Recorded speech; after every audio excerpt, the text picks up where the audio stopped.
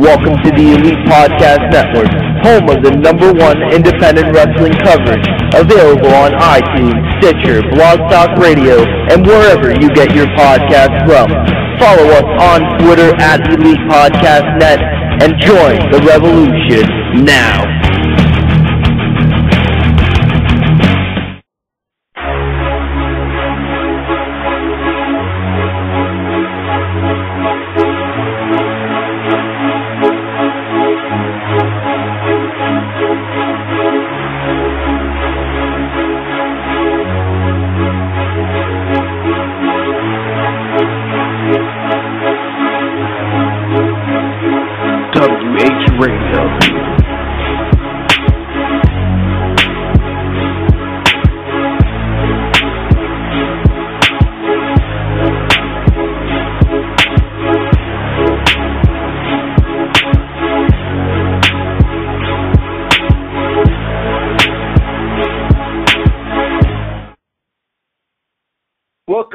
Wrestling Heads Radio. It's me, Oscar.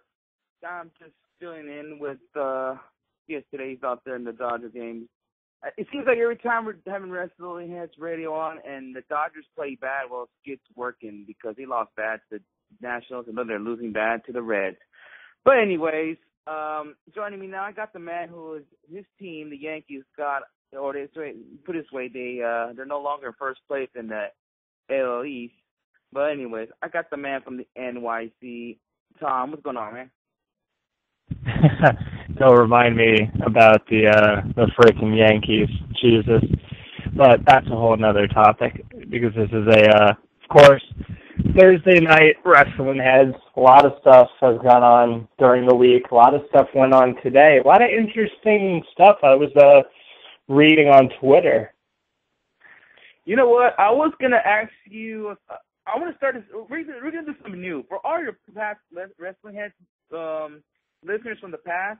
If you, um, you know, this was a couple years ago. We used to do these things like we'll talk about some some weird or some some subjects about like uh in the past, like who's the better NWO leader or all that stuff. Well, we're gonna bring it all that back tonight. But I'm gonna start off with something current, not something from the past. I think we should start off talking about. Um, I think it's very interesting.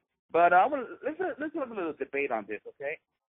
All right. Um, all right. Uh, just now, or I don't know if they're still taking place those NXT tapings, but um, little spoiler alert for all you guys. Uh, if you guys uh, don't want to know what's going to happen on Takeover, but we got an idea what's going on. But unfortunately, Kevin Owens was walking with the NXT title, which we all know next weekend he's going against Finn Balor for the NXT Championship in a ladder match. So let me start with your thoughts. Like, you, let me ask you this question. I mean, not just for WWE NXT or whatever, but do you feel that you know if you're planning to have somebody win the title and you're doing tapings, do you feel that's good for the business to have give out a little spoiler like, okay, he's been your next world champion at, at any company? Like, it doesn't matter WWE, TNA, Ring of Honor. I mean, do you think that's good for the business? Kind of spoiling, like, okay, he's gonna be your next champ in two weeks.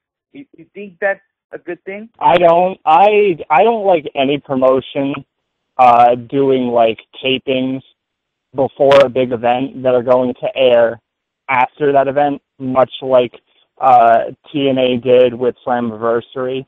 You don't do that. You don't tape if you're gonna do tapings, you do them after the big event. You know, because then your plans can be finalized. I don't know why there were tapings before, you know, takeover next week in Brooklyn. I don't understand that. I don't understand that logic because you want people to watch your product. You have to build interest in it. And nowadays, people find out everything and anything. You know, somebody goes to these NXT tapings, spoilers are going to come out. That is a given. That is a 100% given. It's going to happen. So WWE knows that, but yet they still do it. So now I think there, in my personal opinion, there's a more disinterest now. Now people are like, well, now we know Kevin Owens is winning a takeover. So people are going to be like, all right, I want to watch Apollo Crews uh, debut, and that's it. So it, it, it devalues devalues the main event going in because now people know who's going to win, unless something else happens. But you know, from what we got from the spoilers, it looks like that you, you know, that you're right. Yeah, um, my t- my maybe maybe a little bit a little debate about this is like I think it's stupid. I mean, we just saw this from TNA a couple of weeks ago about they taped an episode for Impact the Impact after Slammiversary, and they taped that episode three days before the pay per view, and I thought that was stupid. Um, with this situation, I I, I think that's kind of dumb as well. I I, I could have I could have done something like okay, Owens and Finn Balor does something you could tape next week's episode, and then don't bring them out the next few weeks. Maybe you can you, you have an excuse for this. You can say this match, this ladder match is so brutal. They, they have they have not been on. They cannot be on TV the next couple of weeks. You could do something like that.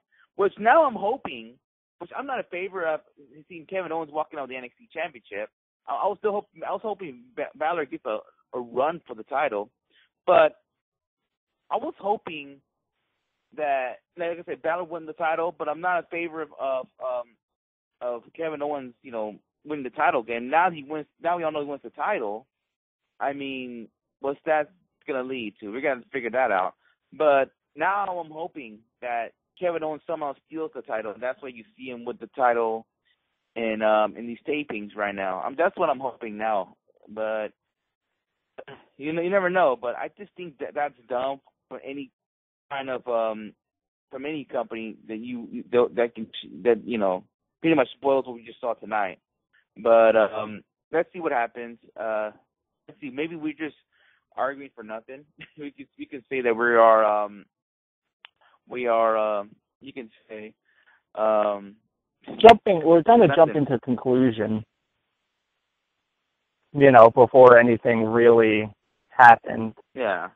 You know, yeah. at the TNA tapings, it was a clear cut title change when EC3 took the title from Angle. That was clear cut, 100%. This is kind of like yeah. it's still it's still a little bit on on the edge. Like we don't we don't really know, but we kind of have a good feeling. Yeah, yeah. First, let's see what happens, and um, yeah, let's just let's just see what happens the next uh, couple of weeks in uh, in NXT. All right. Um, well, the the thing I was really wanting to stop start off with, uh, this is spoilers, but if I didn't find anybody spoilers, I'm gonna start off with this. But I'm gonna this is interesting. This interesting tweet I saw by uh, from Hulk Hogan the other day. But I want to ask you this. We maybe could have a little lengthy debate about this. But Hulk Hogan tweeted that he still is um targeting to appear at WrestleMania 32. But we, we all know the story about Hulk Hogan, his little racial um thing that's going on right now, and um I know, and right now WWE they're like putting it like, okay, the guy doesn't exist. He never existed. He's no longer on in a um in any information on, on WWE.com. The only way you can see Hulk Hogan is pretty much on the network. But, isn't uh, isn't Hogan isn't Hogan back on WWE.com? I thought I saw that he was back up on WWE.com. Maybe you're very confused with Axelmania because they're they're making. No, uh, I thought I saw a couple of Hogan things on WWE.com. I could be wrong. I, I don't know about that. I didn't see anything about that, but but that's but anyway. really the point. But my but um my question to you is Tom, do we see Hulk Hogan back in the WWE anytime between now and ten years? Between now and ten years? Oh, absolutely. I think he's back by WrestleMania. I mean, there's so so much happens I would say not even just in wrestling, but in life, that people are quick to forgive and forget. You know, within a couple months, people are going to forget all about the Hulk Hogan thing. And then he can kind of go to WrestleMania and he's, you know, he's going to get cheered because he's Hulk Hogan. And people are going to be like, wait, why are people cheering? And remember the racist stuff? And people will be like, oh, I kind of forgot about that. You know, people, excuse me, people's memories aren't exactly, uh, long term nowadays. You know, there's some people that, you know, remember stuff like uh like this that are happening with Hogan, but some people, you know, just kind of forget about it. It slips their mind. So I think he I think he's back by uh WrestleMania 32 without a doubt. Well, yeah, with all this um controversy with the Hulk Hogan, I mean, uh it's hard for me to believe he'll be back anytime within the year. Um I mean, I I'm I think he will get in somehow, some way. I mean, people are gonna forget about the whole racial thing. Um, it's depending on how long WWE, you know, willing to forgive Hulk Hogan with, with everything he's done. Like, how long would it take? I mean, you just cannot, you cannot just just do that to Hogan like what you guys did with uh, Chris Benoit. You you cannot do that. You know, well, Chris yeah, Benoit. Two two completely different scenarios. One is yeah a million times more extreme than the other. Yeah, the other guy murdered his, his his family, and this guy just did some racial slur. I mean, I mean that was taped eight years ago, and then you're gonna come out with fucking like, okay, you guy never exists. Well, this guy put you on the fucking map. I mean, without that, this guy, we probably not be not doing this podcast right now. We probably not probably not follow the independent scene or anything like. We, I probably would never go to PWG. You probably be not following wrestling all over the you know all over the globe if if it weren't for Hulk Hogan because I feel like in in the 80s he made it on the map. WWE was part of MTV at one point, and whoever thought of that, you know, bringing in guys like, you know, um, Hulk Hogan and and uh, Roddy Piper in MTV programming, which at the time cable TV was something new and something that people got interested in. Like, okay, cable TV. Now we instead of having like 13 channels, we got more channels in this cable thing, and yeah. MTV was it, a huge part of it. Yeah, it was the whole rock and wrestling thing. Uh, you know, the whole deal with Cyndi Lauper and you know her appearing at you know WrestleMania and all that. That was really the big boom, and that was all that was all Vince McMahon's idea because Vince McMahon had the vision of making at the time WWF into a global phenomenon. He didn't just want to make it the Northeast territory that it was. He wanted to expand it into what it is today. And so, you know, he I think he realized that getting celebrities and people like that is going to help expand it. So that was all him. And you know, the one thing about Hogan, and you're mentioning all this, was I, I I know what Hogan did for this business, uh, and you know you can't deny what he did, and you can't deny that he's you know the legend in the business, and he's probably the most recognizable name in wrestling history. But I don't give a shit about him anymore. I don't give a shit. This it, it's like I, I respect what he's done, and I respect you know, who what he's done in the ring, but you know, outside of the ring, the guy seems just like a piece of shit. You know, you read all the stories about how many fucking times this guy either buried talent or just he was acted like a whiny bitch to get his own way because he wanted creative control. It's like this guy was a a, a political uh, powerhouse, I guess you could say.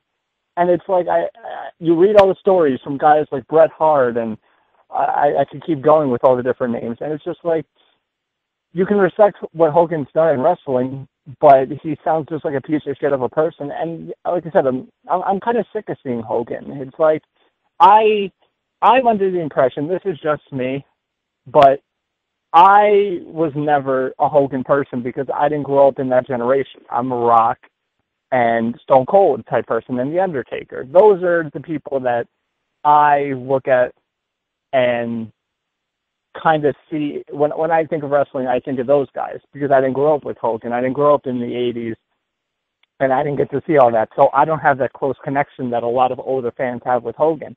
So it's like I I couldn't care less if he's on my TV or not anymore.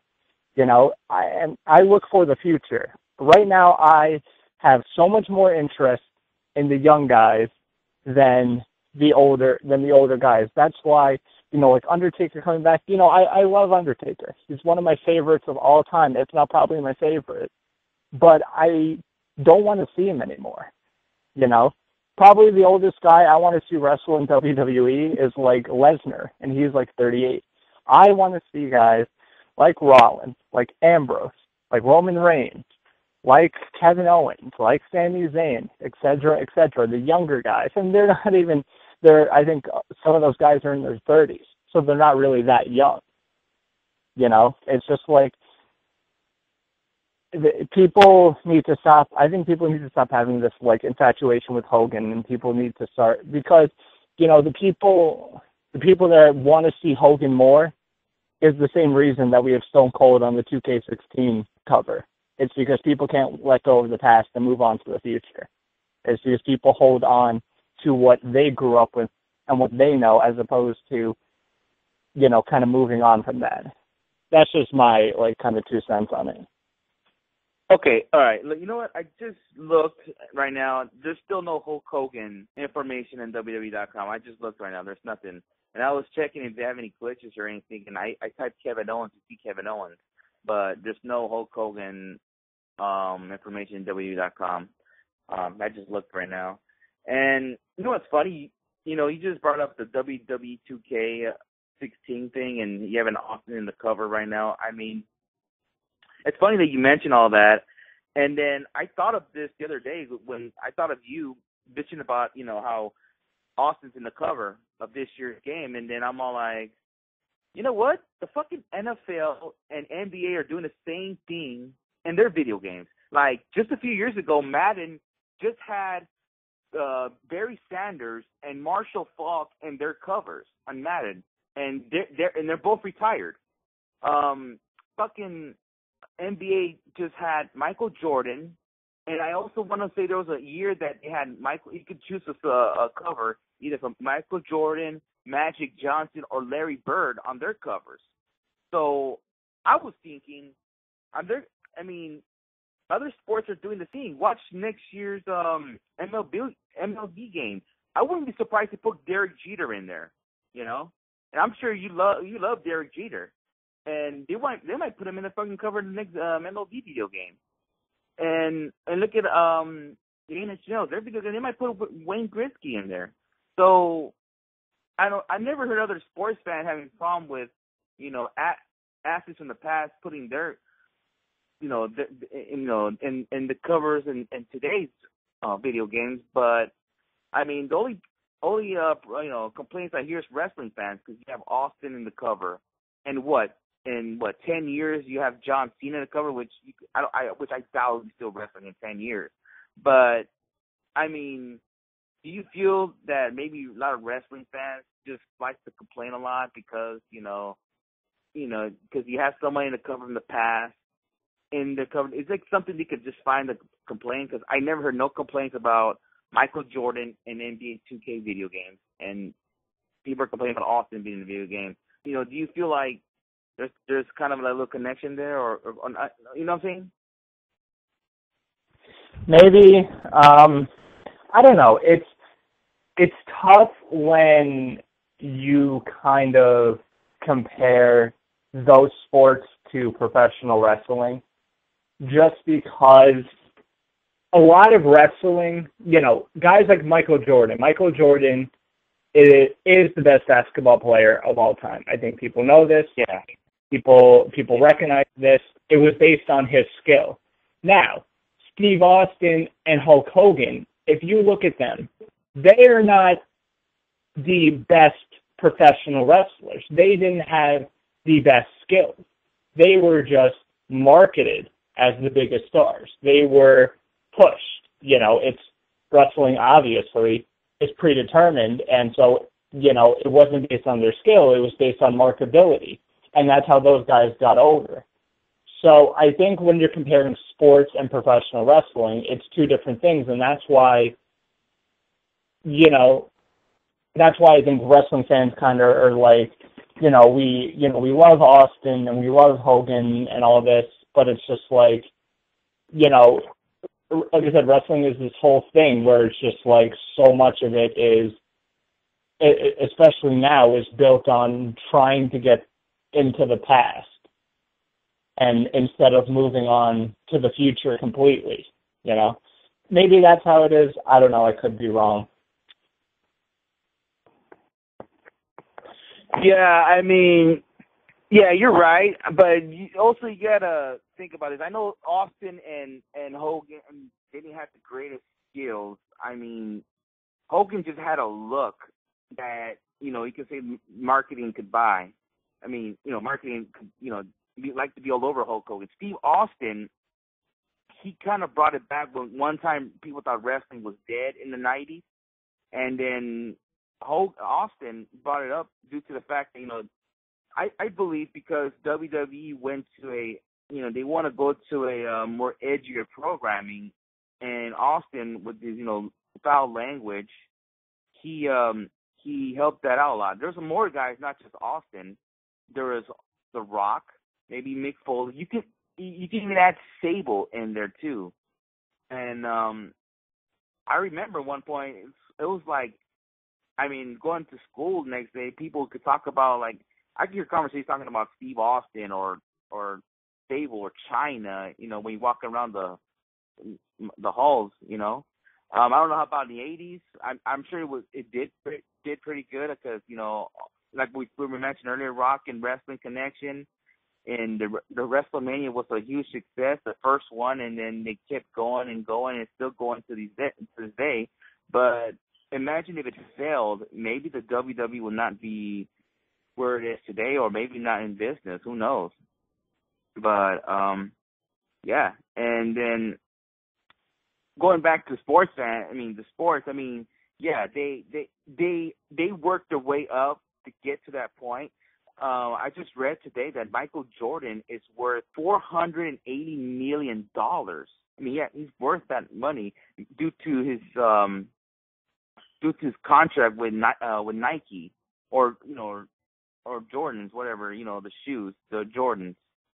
Um, due to all that, he still you know he makes some money still even to this day.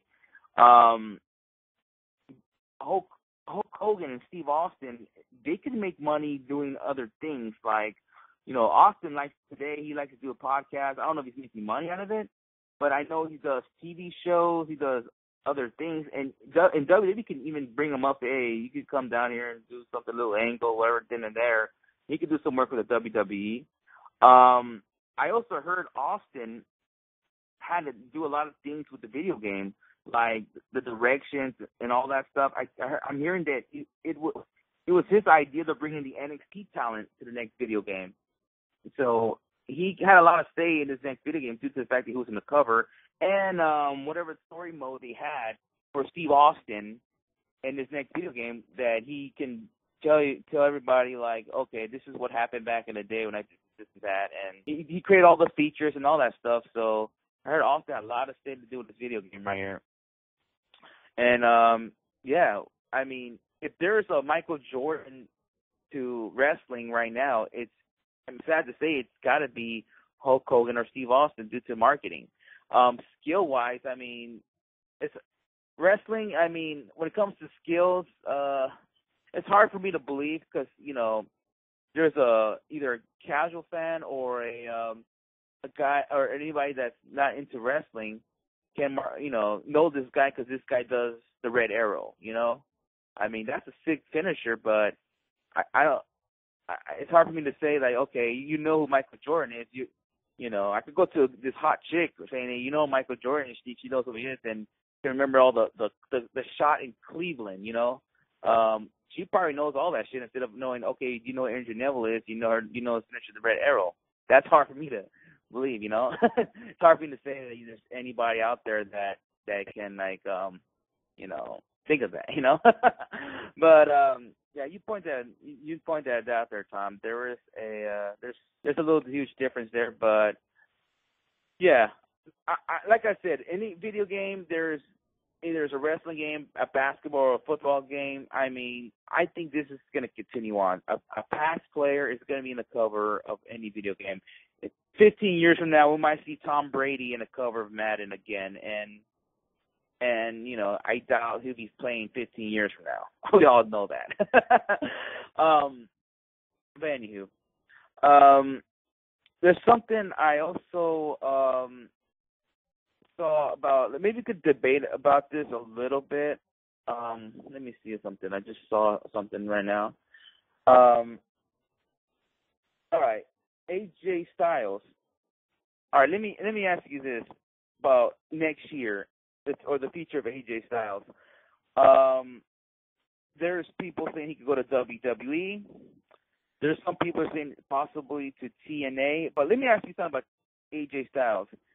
If he goes back to TNA just to do a um, uh, a Hall of Fame um, appearance, like he comes in and you know like what, what Jeff Jarrett's doing right now. You know, he comes back for the Hall of Fame. Uh, would you be interested to see what he do? Would that caught you any interest, or or or, what, will it be not only just you but a lot of fans? Would they would, would they like to check out the programming if, if AJ Styles does decide to return to TNA for that short time? No, absolutely not. Because right now, AJ Styles is at the peak of his career. This is this is some of the best stuff, if not the best stuff, that AJ Styles has been doing ever since he left TNA. Leaving TNA has been a godsend for him because ever since joining New Japan and going back to the Indies, the the man has probably made more money than he ever made in TNA. He's putting on ten times better matches than he ever did in TNA. He is a hundred times more interesting than he ever was in TNA. I don't want to see that. That's like to try and draw up uh, an accurate comparison. That would be like you're in a you're in a bad relationship, you know, with uh with this crappy girl. She treats you like shit. She cheats on you, and you finally get out of there, and you finally get this, you know, amazing girl. She's good looking. She's smart. She's funny. She treats you good and you're with her and you, you you feel great. You feel like you're on top of the world. That would be like leaving that girl to go back to the first girl. You don't do it. Even for a little while. You know. It's right now AJ Styles should either do one of two things by 2016. Either stay in New Japan and keep doing Ring of Honor, maybe a tier less in, in New Japan if they decide to kind of take him out of the main event scene and kind of, you know, work the Indies, work Ring of Honor more, or WWE. Those are the two options. Anything else, yeah, I don't. I, I, anything else, I don't think benefits AJ Styles. Yeah, yeah. That's I was going to ask you next about WWE. Um, if he decides to leave New Japan to go to WWE NXT, how will you? Would you be down for it? And do you? And what do you think the fans would would would, would uh, react if he goes to WWE? Let's just say not to the main roster. Let's just say they're doing what like what what Samoa what they're doing Samoa Joe right now. Would you be interested, or you think, how how, how interesting do you think the fans would be? Well, it, it, I think it all depends on how he's going to be used. I feel like, you know, because I, I was thinking about this kind of while watching the G1 over the last couple weeks. If AJ Styles does go to WWE, they have to push this guy as the biggest prospect or the biggest guy that's ever signed with this company in uh, in a long time. They have to bring him into NXT, only keep him there for a short while, push him up to the main roster as soon as you can because like I said, this guy is a main event star. This guy is probably without a doubt the best wrestler on the planet right now. I don't think anybody can really deny that that he is the best just pure wrestler right now. And I, I I think the fans would really like it. I think he'd get a really good reaction because, you know, obviously being in TNA and then going to Ring of Honor in New Japan after he left, he is a very recognizable name. You know, if you think about names um, outside of WWE, if you ask someone, name somebody from a different wrestling company outside of WWE. AJ Styles might be one of the first names that pops up into people's minds. So, you know, he definitely has a lot of recognition. You know, if they know who uh, a lot of these indie guys are, there's no doubt in my mind they know who AJ Styles is. So it would be something good. It just depends on if he wants to do it. You know, we know he denied going into NXT at first, but he may you know, give it a second chance now looking that Samoa Joe is in there and what's happening with Kevin Owens. Um, I wouldn't be I wouldn't be opposed to it as long as it gets treated properly. Because, like I said, this guy he's he's not getting any younger. He's only he's only getting a little bit older, and he's got to think about what he can do within the next couple of years to kind of mainstay what he's doing right now and not lose any steam or momentum. Yeah, I mean, okay, I'm gonna start with the WWE part of it. If he does come to NXT, kind of like a similar role like uh, Samoa Joe, I mean, I think that would be huge because about a year ago, I heard him in I think it was in Jericho's podcast, and he said that he he felt that he don't think they'll ever sign him due to the fact that he's getting old, and um there's no way they're gonna sign him because they they feel like they feel more focused on younger talent. Then when then a few months ago we heard this rumor that WWE could be interested. I'm like, holy shit. So if they want to bring him NXT, I have no problem with it because like there's some there's some names in that roster I like to see him go at it against, like a um like him and Tyler Breeze. Do you think him and Tyler Breeze have a good match? I think so. I mean, with Tyler Breeze doing what he's doing right now and what it looks like from the spoilers, I mean, why not? You know, him and Tyler Breeze might kill it in, in a takeover match. Um, do you want want to see him and Samoa Joe go at it? If if they keep Joe Joe in NXT, um, why not? You know, I mean, they had good matches in the past, and and it's been a while since those two guys got in the ring against each other. So why not have these two guys get it on? Um, the other names, him and Finn Balor. I don't think that never ever happened before. I don't think it. Yeah, I don't think it ever happened before. That'll be interesting. Um, hell, maybe him and um Apollo Crews I mean, if if they don't make, I mean, if Apollo Crews wrestles like he did in the Indies at Uhaa Nation, then yeah, I I think him and Apollo Crews will be a match that we never uh, all thought that you know ever happened or think it'll be really good. So that's something that will be very interesting.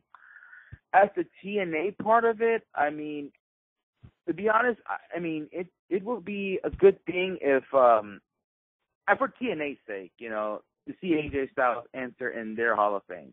Because sometimes I feel like at one point he is the face of um TNA. There was one point that, you know, when I think of TNA, the first wrestler I think is AJ Styles. There's there was a point of that um to see him in TNA. But I agree with you, Tom. If he does um come back right now, the TNA, it will be like, okay, I just had this girlfriend and I'm going back to the girl who treat me like shit, then yeah, that I see you in that in that part. But I think it'll be best for TNA if they go after AJ Styles when he's done in the ring. I mean, I mean completely done. I think that would be the best way to put him in the Hall of Fame. I don't think you should do it now. And even though some of your top stars from the past are either in WWE or or probably in a bad relationship, don't try to make it so desperate that you're gonna have to, you know, get to, you know get a guy like AJ Styles to get in your Hall of Fame because you have any no idea to put him in. I mean, next year, who the hell are you gonna put on now in your Hall of Fame? I mean, if you scratch AJ Styles, who you gonna put in? Fucking uh Christian? Because you doubt Samoa Joe will be in there because Samoa Joe is gonna be in WWE next year. So, I mean, or fuck, Hulk Hogan. I mean, that that's something TNA got to figure out, and we'll see even if TNA is still alive, in in, in around uh, one year from today. So who knows? But um, before we move on, I just want to let our listeners know that listening right now. If you guys have anything you want us to debate about, or if anything you you want to want us to talk about, you can always call in at three four seven nine four five 5566 or tweet us at WrestlingHeads and move debate on something that um that that maybe was in your mind he wants to debate and maybe me and Tom will come up with it or come out with something that we can debate about. Um it's something that always got me intrigued. I said something about this on Monday, Tom, but um about Charlotte. She another little video that she mentioned about Ronda Rousey, how she's being in MMA right now and she wants to be something like Ronda Rousey, which which um she wants to be a market per uh, no female person like Ronda Rousey in in the WWE, and she maybe some people might think is impossible, but her goal is for her to actually main event WrestleMania or some kind of women match or or involve some kind of women match in the main event WrestleMania. Uh, Tom, do, do you do you uh, can you see a women's match main event WrestleMania not next year but anytime in the future? Can you see that happening?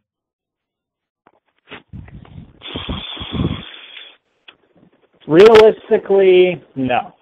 Um, even when Vince McMahon, because you know Vince McMahon is in his early seventies, even when he does pass, and you know obviously I think he's a big part of why you know women haven't been treated uh, the way that they should have over the last couple of years because he doesn't see the value in women's wrestling as opposed to a guy like Triple H, which has turned NXT into a women's wrestling breeding ground you know, obviously with the help of, uh, you know, the, the coaches and trainers down there like Sarah Del Rey. Um, but obviously Triple H had that plan that he wanted to get a girl like Sarah Del bring her in to help train these women into becoming that. But even still, to headline WrestleMania, that's tough. I think within the next couple years, we're going to see a lot more women main eventing Raw. And I think maybe maybe main eventing another pay per view, but not WrestleMania. Yeah, you know, I, I don't want to say no, it will never happen, but if they could pull it off like Charlotte and, or Sasha could do it, I will give them props if that ever happened. But the only way I could see it happening, I mean, not, not way it happened, but start it off. This is a good way to start it off because all these diva revelation thing or whatever's going on right now, it's it's pretty cool. And then you have Sarah Del Rey training these the women, uh, future women of wrestling um, coming up. I mean, listening to Sasha's, um, I mean, I listened to Chris Jericho's podcast. It had Sasha Banks on there, and then when she got there, at first the WWE they only put her in three minute matches, like you know, they they figured like, okay, in the future we're gonna have you on the main roster and doing three minute matches. That's all you're gonna do. And Sasha was like, uh, okay, okay, whatever. When um Sarah came came down, I mean, she, she changed a lot of things. She she made the training um more difficult than than it was, and she and she felt more challenged. And then and then she she felt like okay with Sarah there, it it not only helped her a lot, but it helped out a lot of women in wrestling, and she she feel confident that she'll help more women in in down the road. So, I mean, the only way I could see a women's match to ever main event WrestleMania, even with Vince dead or alive, if that woman is like like the biggest thing that they're talking about in, in in the world. Like I remember one point, Sable. I feel like she was the biggest thing at one point because her and Playboy, her sex appeal and everything going on right now there, and then see Sable was everywhere pretty much. You know, um, I remember uh, my neighbor named her dog Sable due to the fact of you know the wrestler Sable, and I was like, and she was not even a wrestling fan. She knows how who she was she just liked the name Sable, and she was she she had, but at that time WWE uh was going edgier, and she brought the sex appeal to it, and the believe I mean maybe you you might kill me for this Tom, but and The Rock were not there at, at during the Attitude Era. We might have saw a women's match at, at, at main event WrestleMania. Think about it. Just imagine you take them out. Who's who be marketing big time at WWE? I think you'll be Sable. I don't think Triple H will get there. This is before Triple H. even if Rock and Austin weren't there, they would have found somebody. Uh, a, a women's match back then would have never main evented a WrestleMania. Women weren't even main eventing Raw. You know, the first I, I'm pretty sure that the, the first women's match, the main event Raw, didn't come until what, like 2003, 2004. You know, Um, I know. women, women in the Attitude Era. You know, I would say after '96 because there was a period I'd say from like '93 to like '95, '96 where there was a lot of good women's wrestlers. You know, you look at Alundra Blaze and Bull Nakano was in there, and et cetera and et cetera.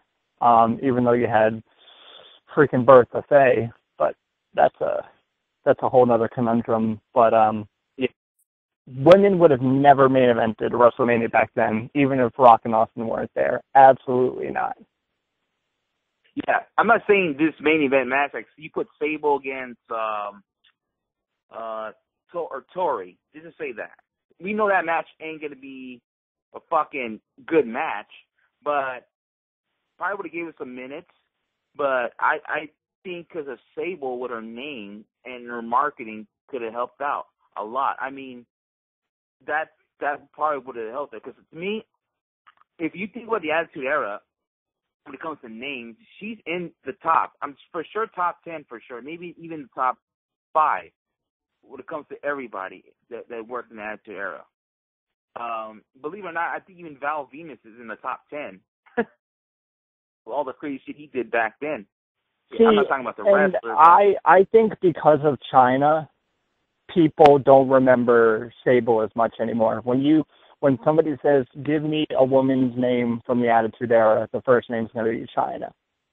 That's just it. That's just how it is because Chyna, you know, on as big as Sable got, Chyna got pretty big as well. Um, and you know, she posed for Playboy as well, so she was on the same level as Playboy, but she was she was wrestling in matches against men, which is unheard of. She won the Intercontinental title, which is unheard, which was unheard of for women to do in the WWE. It was unheard of. So I think that Sable wasn't the biggest women's star in the Attitude Era. I think you have to look at Chyna as far as that goes. And see, my whole thing is right now right now people are taking this whole divas revolution thing a little bit too far they're acting like listen it, it's going to get to a better point but we're taking baby steps right now we're taking little tiny baby steps you know and a lot of fans are overreacting too people are saying that sasha banks is the greatest women's wrestler ever already and i'm sorry but that is a complete and utter joke I doubt it. yeah I doubt it. no offense to Sasha Banks, but she's still really young. And you know what? If people want to see great women's wrestling, I mean the best women's wrestling that they'll ever see, you go to the All Japan women's shows back in the 1990s. Those were some of the best women's matches, and not even just women's, but best professional wrestling matches maybe ever. You know, girls like Manami Toyota and Aja Kong were putting on five star matches night after night. Those are the legends of women's wrestling. Those are some of the best pure women's wrestlers. Those are women that defined and revolutionized stuff. You know, that All Japan women's that, that that whole company back from the I, I would say eighty nine to probably ninety four, maybe ninety five, they were tearing it up night after night. And you read about the people that were obviously I never watched it when I when I was a kid because I was born in '93, but I've seen quite a bit of stuff from there, and it is it's some of the best, not just women's wrestling, but wrestling of all time. They really revolutionized what it is to be a women's wrestler. So, you know, people people just need to kind of chill out with this. You know, take it day by day. Yeah, I'm not saying it's gonna. I'm not. I don't want to say it will happen, but if if it ever gonna happen, this is a good start. You can say. I mean, they're just putting the women out there. Like, look at they got Total Divas going out there. My fucking aunt no, now know whose Paige is, and she doesn't even watch wrestling. She knows who the fuck is Paige is because Total Divas. Even just some girls I know that I've seen on Facebook that you know, I know for sure they're not wrestling fans, but they'll post something like, "Okay, now I'm watching Total Divas," mm-hmm. or or girls be talking about like they know who's Alicia Fox is now because of the damn Mhm. show. But see, So but see, those, the the women because I I know a lot of women too that watch Total Divas. but they don't watch Raw. They just watch Total Divas because it's on E and they love that reality TV sort of stuff. So yeah, you get their names out there, but it's not translating into people watching your product. It's not translating into women having more interest into watching WWE. You know, it's just the whole reality TV aspect that a lot of women enjoy watching. It's not translating into bigger Raw numbers as far as the women demographic goes. Yeah, definitely. And it's funny when you say Sasha's the best women wrestler. I mean, today I, it's kind of weird because. Um, oh, let me ask you a question. Do you know the? Are you familiar with the talent in, in Stardom? Um, some of them. I'm kind of like with Japanese women's wrestling. I'm like in and out of it. Like there'll be points where I'll follow it closely with, and then and then kind of like fade out. Okay, are you familiar with uh Starfire? Yeah, I've heard of her. Yeah. Okay, do you think Sasha's better than her? No. No. No. Okay. No. Do you think, They're, um, they're, they're, listen, like I said, no offense to Sasha Banks or Becky Lynch or any of the divas in WWE, but I could probably name five or ten women on the independent scene that are better than them. yeah. So, like I said, they're but Sasha Banks is really, really good. She's really good. But and see that's the thing, is that they're right now I think we're at a point, not just in WWE, but on the independents, where there's so many great women's wrestlers.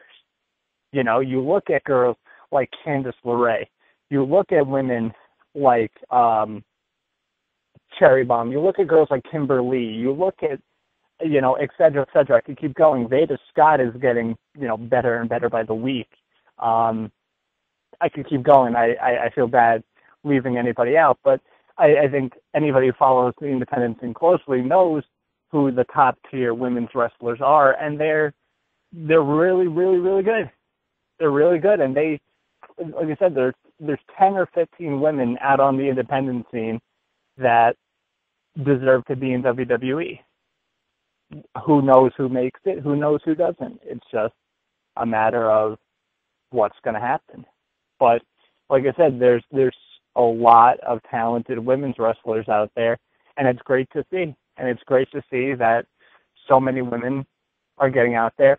And you know, the women that we've had on the show and we've interviewed, you when we've talked about them, and we've asked them, you know, who are your influences? What made you get into this? 99% of the time, they're like Lita and Trish. Lita and Trish inspired me to go out there and be a wrestler. You know, not to be a model or to go pose for Playboy or something like that, but to go out there and prove that I can wrestle as good as anybody else, as any guy or as any girl. So, like I said, it's it, it it's great to see. I think women's wrestling is going to just keep getting bigger. Um, in the pro wrestling world, not just in WWE, but in the independents as well. And there's also some great uh, women wrestling over in the UK, you know, and we don't we don't hear a lot about them Mm. from here, but we're starting to get more and more information because of the internet and Twitter and stuff like that. Yeah, definitely. And I just found out. I'm just realizing right now. I think it's the biggest thing got me more interested in women what I'm saying today than I have been in the past.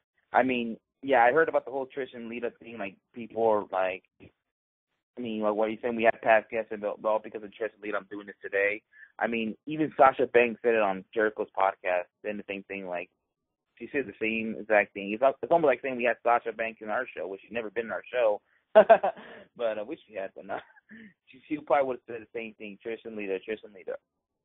But um, yeah, we'll see. I mean, um, I'm not gonna say I'm not gonna come on and say that will never happen, but who never knows? You know, I'm the same guy that said a few years ago that freaking Kevin Owens will never be in WWE, and look at him now, he's there.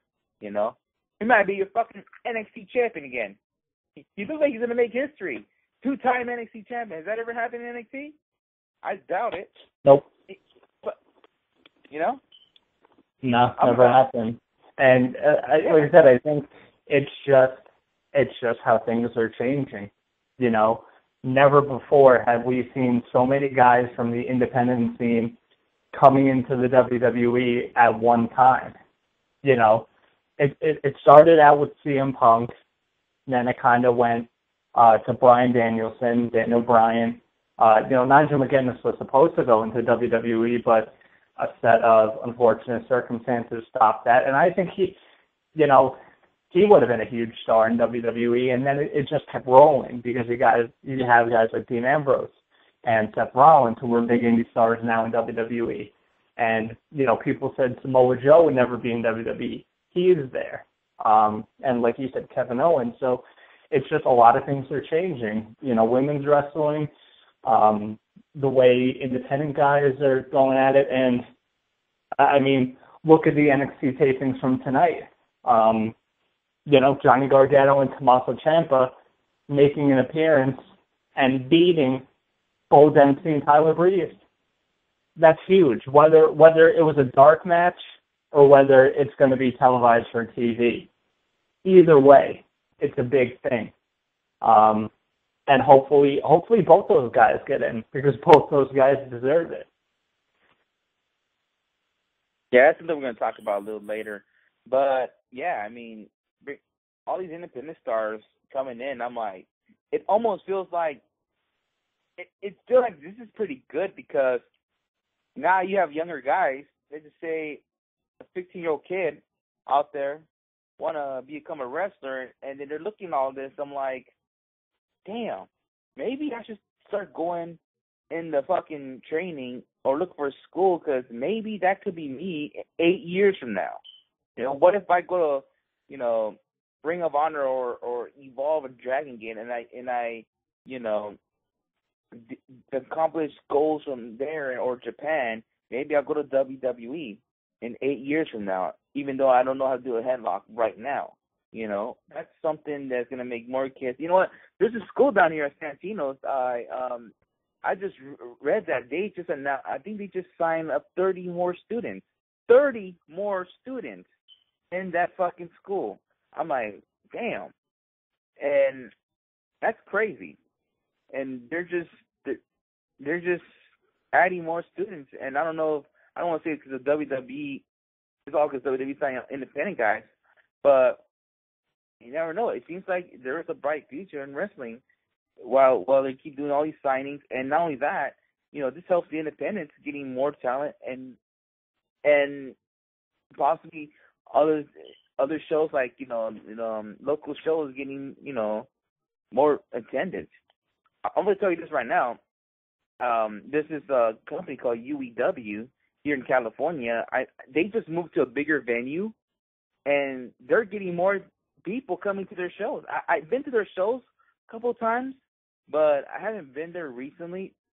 And they, I, I haven't been to their new venue, but I heard it's bigger and they're getting more um more attendance and and their fucking venue. They're even their new big venue now, and they're gonna continue on, keep going there, and and maybe I'll make. Now it's kind of makes me want to go check out their show again. You know, UEW is like um one of those hardcore shows. You know, like you know, weapons use, ECW type thing. That's what it is, and you know that that's they're to me right now they're starting to become the second biggest promotion in California. I mean, no, I know right now PWG is the number one, but number two could be UEW due to the fact now it's going bigger and bigger. They even brought Chris Dickinson one time, you know, so that's that's pretty good for them. I I, I put my hands down that, my hats off to these those guys. But um if anybody's listening, maybe you should check out their stuff if you're into like hardcore wrestling, um, barbed wire use and all that stuff. You should guys check it out if you guys are into that. All right. All right. Let's see another thing. Um, I want to see a discussion about um, um, the Ring of Honor. All right. I remember a couple of times we all, me, you, Matt, and Skits, talking about the whole Roderick Strong thing about um signing talent, the exclusive deals, and all that stuff. But can we see? Do you think in five years from now, anybody that joins the Ring of Honor a roster will get an exclusive talent. I mean, anybody. I don't know. Um, because you you look at the guys in the Ring of Honor now, and you look at the big names. Um, because any of those guys could get a shot at WWE at any time. You know, um, Adam Cole, I think is going to be in WWE. Uh, it's just when he's going to be in WWE. It's not if. Um, Jay Lethal could be in WWE as well. Um, guys like ACH, Cedric Alexander, all the names that are becoming big, Moose, you know, all these guys are becoming big names could very easily wind up in WWE within the next five years, without a doubt. Um, you know, guys like the Briscoes have gotten, you know, their their looks from WWE, but nothing ever came from it. It's just it, it it's it's going to depend on circumstances and what's going to happen. And you know, when we were talking about this, you know, me me and Matt Grant from you know Weekly Wrestling Podcast said the exact same thing what Ring of Honor is doing right now is not going to benefit them for the future because they're making guys go through their Ring of Honor dojo, their tryout camp, who don't need it. You know, guys who have been on the independent scene for years and years. When you put somebody in the tryout camp or your dojo, whatever, it should be for brand new guys, guys who have been in the business for less than a year or two. You know, maybe two years not guys who have been wrestling on the indie scene for more than you know three or four years. That's a that's a little ridiculous, but that's what Ring of Honor is doing, and I think soon enough they need to kind of change that because you know at, at any time they could lose star power, even with all these exclusive deals, because once those deals run out, you know once Adam Cole's you know exclusive deal runs out, he could very easily go to WWE without even a second thought. He could just say, "Bye bye, Ring of Honor, I'm going," and there's a big star loss, you know. So it's just, it, like I said, Ring of Honor needs to start building up a lot of talent. They need to start bringing in a lot of indie talent. And you don't even have to sign a lot of them to exclusive contracts. You just need to start building up that roster so you have enough so when you lose big names, you can easily replace it. Yeah, I mean, I just feel right now Ring of Honor is doing things that, you know, they're doing. I mean, it just felt like came out of nowhere that all of a sudden now Adam Cole, Kyle O'Reilly, Bobby Fish, they can't do PWG shows anymore. Like at one point, I feel like going to PWG is like the only chance to see guys like Adam Cole, Tommaso Ciampa, whoever in the Ring of Honor roster at the time, um, you see him in PWG, you know. But the thing is, we get a hope for guys to see like Matt Taven or Michael Bennett gets in, and maybe you'll see them too.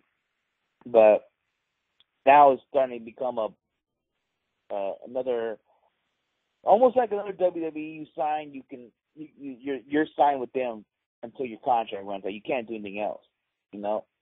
And are they making more money than they are making now? Probably. And um, now they're coming to Vegas more often now. Rumor has it they're gonna have the 14th anniversary back in Vegas. So that's if that's true, then I'm planning to go. And and and I don't know how much how much were the attendees in the last Las Vegas show, the one I didn't go to, but it, it looked like they did pretty well as well. So they're making people come to the shows no matter what they go. That just shows me if they ever come to do a show in LA, they'll do good attended wise. Um, so it seems like every year they're doing something different. It wouldn't surprise me in a year or two they start coming here or San Diego, San Francisco, or, or anyway, they went to San Francisco for WrestleMania week. But I mean, start doing random ass shows here, there, and in other cities like fucking Seattle or fucking um Portland you know, they start doing shows there, and I'm all like, they're they're, they're expanding more, and that means you have to sign more their talent exclusively due to the fact that that talent could be working in independent show, like I say in Florida, but they might need them to come to their show they want to do in Portland. So, yeah, it seems like they're making more money, not, more money than they ever did before, but let's just see how they could do. You know, get more expanded. Um, if it takes you like not, not even one time to go to PWG, oh well. You know, I still think PWG would do great even without any Ring of Honor talent. I feel like they showed it to them like, hey, if you can if you can sign all these exclusive deals, go for it. We could do it. We could still put out a good show. We could still do, do well attendance without without them. I feel like they could do it. So, um, yeah, possibly if if if a wrestler that can't get in WWE, maybe another a place they could go is Ring of Honor. I'm not saying Ring of Honor is going to be a WWE type promotion, and um, in a year from now or soon, or you know what I'm saying. I don't think it's going to ever be that.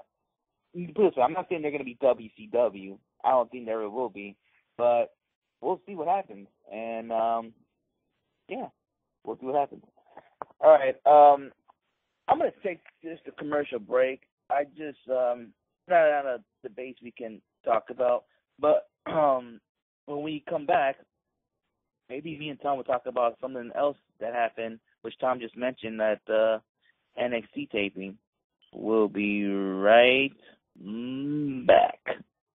What's up? This is the phenomenal AJ Styles down here in uh, LA, kicking it with the uh, PWG, busting my tail. Freaking great tournament. The BOLA tournament is freaking amazing. Anyway, the fact of the matter is, everybody and anybody needs to listen to Wrestling Head podcast.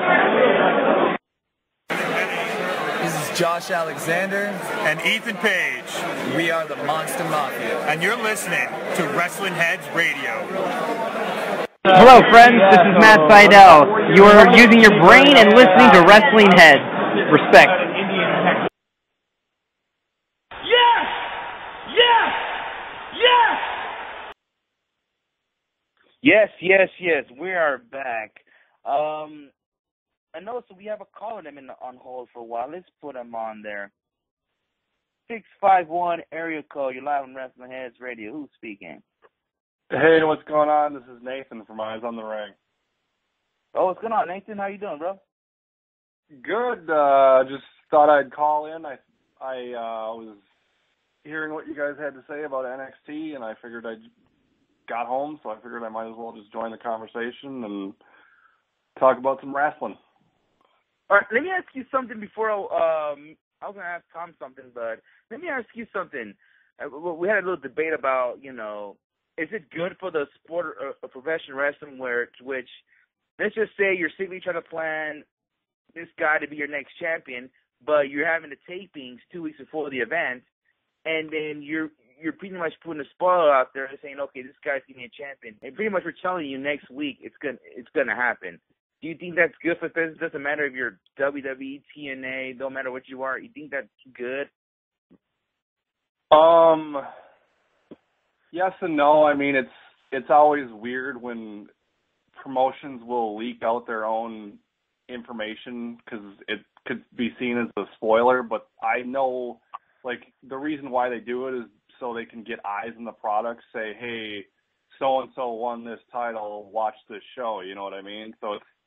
I think it's more of a way for them just to um get people to watch it versus they don't care about that they're spoiling a specific result. They just want people to have eyes on the product. And I think that's their main goal. Interesting. even even well, if it does sacrifice some of the the integrity of the wrestling business, because to me it does. Yeah, but like I said, uh, like what I said to Tom earlier, I'm hoping this is like a something like an angle, like okay, Kevin Steen stole the title from Finn Balor now, because I was hoping Balor gets another run. I mean, a longer run, but if Owens does win, I mean, it's a little, it's a little upsetting. But um, yeah, we'll see what happens. All right. Um, Tom, you did mention earlier Tommaso Ciampa and Johnny Gargano. They uh, wrestled a match tonight, but the way it looks like, Tom, is this is not a dark match. It's gonna be um, part of an episode um, of um, an NXT. So they actually used their names, Tommaso Ciampa and Johnny Gargano. The way it looks like when I read, it looks like Tyler Breeze and Bull Dempsey are working on an angle together, and they lost the match to Tommaso Ciampa and um, Gargano. But the way it looks like, they bring them almost like jobbers, but they, they but they lose to them. And I don't know. It looks like it's possible we'll see Tyler Breeze and Bull Dempsey feud. I'm guessing, or this might lead to it. But um, thoughts? What are your thoughts of Tommaso Ciampa and Gargano um, um, showing up in NXT? Yeah, and you know it's funny because earlier we were talking about uh, some of the other NXT stuff that was happening at the tapings tonight, and Kevin Owens coming out with the title. Apparently, I'm reading now that like a lot of a lot of the second set of tapings, which had Owens come out with the title, and apparently Sasha Banks came out with the title. Apparently, they don't know if that's going to be for TV because they said it had like a lot of weird stuff. It felt like a show just for the Full Sail crowd, but just just thought I'd throw that out there. But I mean, this is Gargano's, I think, second appearance in NXT. He worked a, a, a dark match before, and now he's he's doing another match. So, regardless if it is on TV or not, it's still it, it's it's great for Gargano and Ciampa because these, like I said, these guys are getting very very heavily looked at. You know, they're getting match after match. Um, and I, after this, I would have to suspect that either both Gargano and Ciampa get signed or maybe just Gargano. I hope for both of them because both of them are extremely talented. And you also have two completely different talents in Tommaso Ciampa and Johnny Gargano. You know, Ciampa could easily be a top heel in NXT and then eventually in the main roster. Um, he's kind of, like I said, he's got more of the ruthless side to him, the, of course, the Sicilian psychopath. It's they could do some sort of gimmick like that for him. Don't have to change him too much. Um, and then Gargano's kind of just like he he's like kind of like a natural baby face, but he'd be a heel as well. But I feel like either way it could work. And both these guys are just so great in the ring, and um, like I said, both these guys deserve it. And the the the only negative about this is it's going to be a huge loss for uh, for independent wrestling. You know, these are two top guys within independent wrestling. These are two guys that have been working for years and years on their craft. But you know, like we always say, we want these guys who have the talent and the skill and have been busting their ass for years, traveling around the indie scene to to make as much money as possible. So that's what I'm hoping for. But uh, but either way, these guys are getting uh, a lot of a lot of attention. And you know what this does as well? This also draws a lot of people toward independent wrestling. You know, the Evolve shows this weekend, Gargano's going to be on both of them, and that's maybe going to intrigue people to check out these shows and be like, man, I wonder why are people talking about this Johnny Gargano guy? You know, what's going on with Twitter? Maybe I should check check this guy out. And they order, uh, you know, the you know the Evolve shows from this weekend. They're like, man, this guy's pretty good. I should definitely keep an eye on this guy. And it just leads to people talking. And like I said, especially nowadays with social media and people constantly being on their phone and constantly being online, word of mouth is one of the most important things that any wrestling promotion or any company can have because all it takes is for one person to see something and they tell a friend and then they tell a friend and then they show a group of people and they tell a friend, and it spreads like wildfire. You know, that's how a lot of YouTube videos get popular is because one person sees it and then they keep telling each other until it blows up. So, you know, this is great either way. It's great to see a lot of these independent guys getting shots and you know, can't can't wait to see what happens. Uh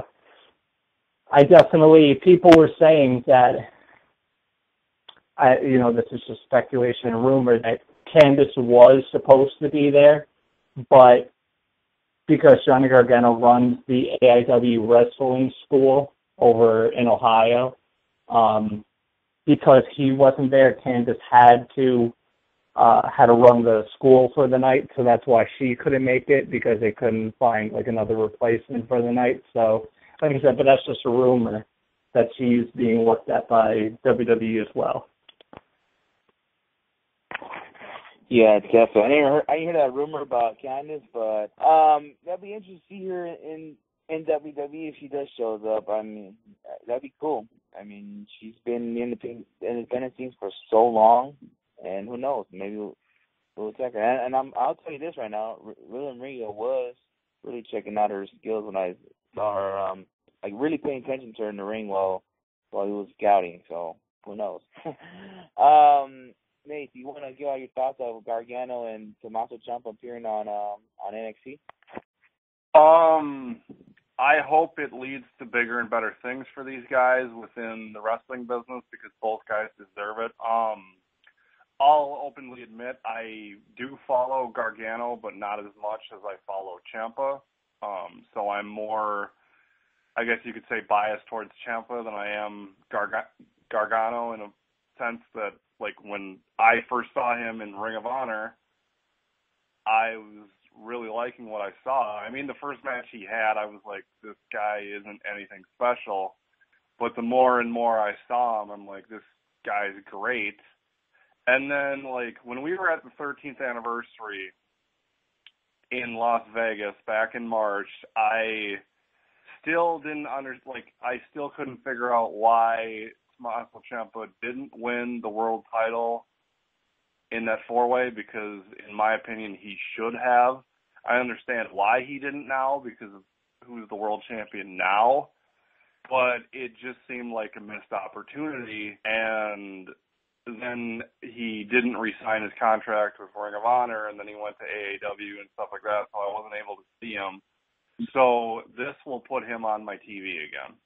And that is what I'm most looking forward to and being able to follow him in NXT now. And hopefully he gets to the main roster and hopefully his time in NXT is a lot better than his time in OVW um during his 2004 2005 run.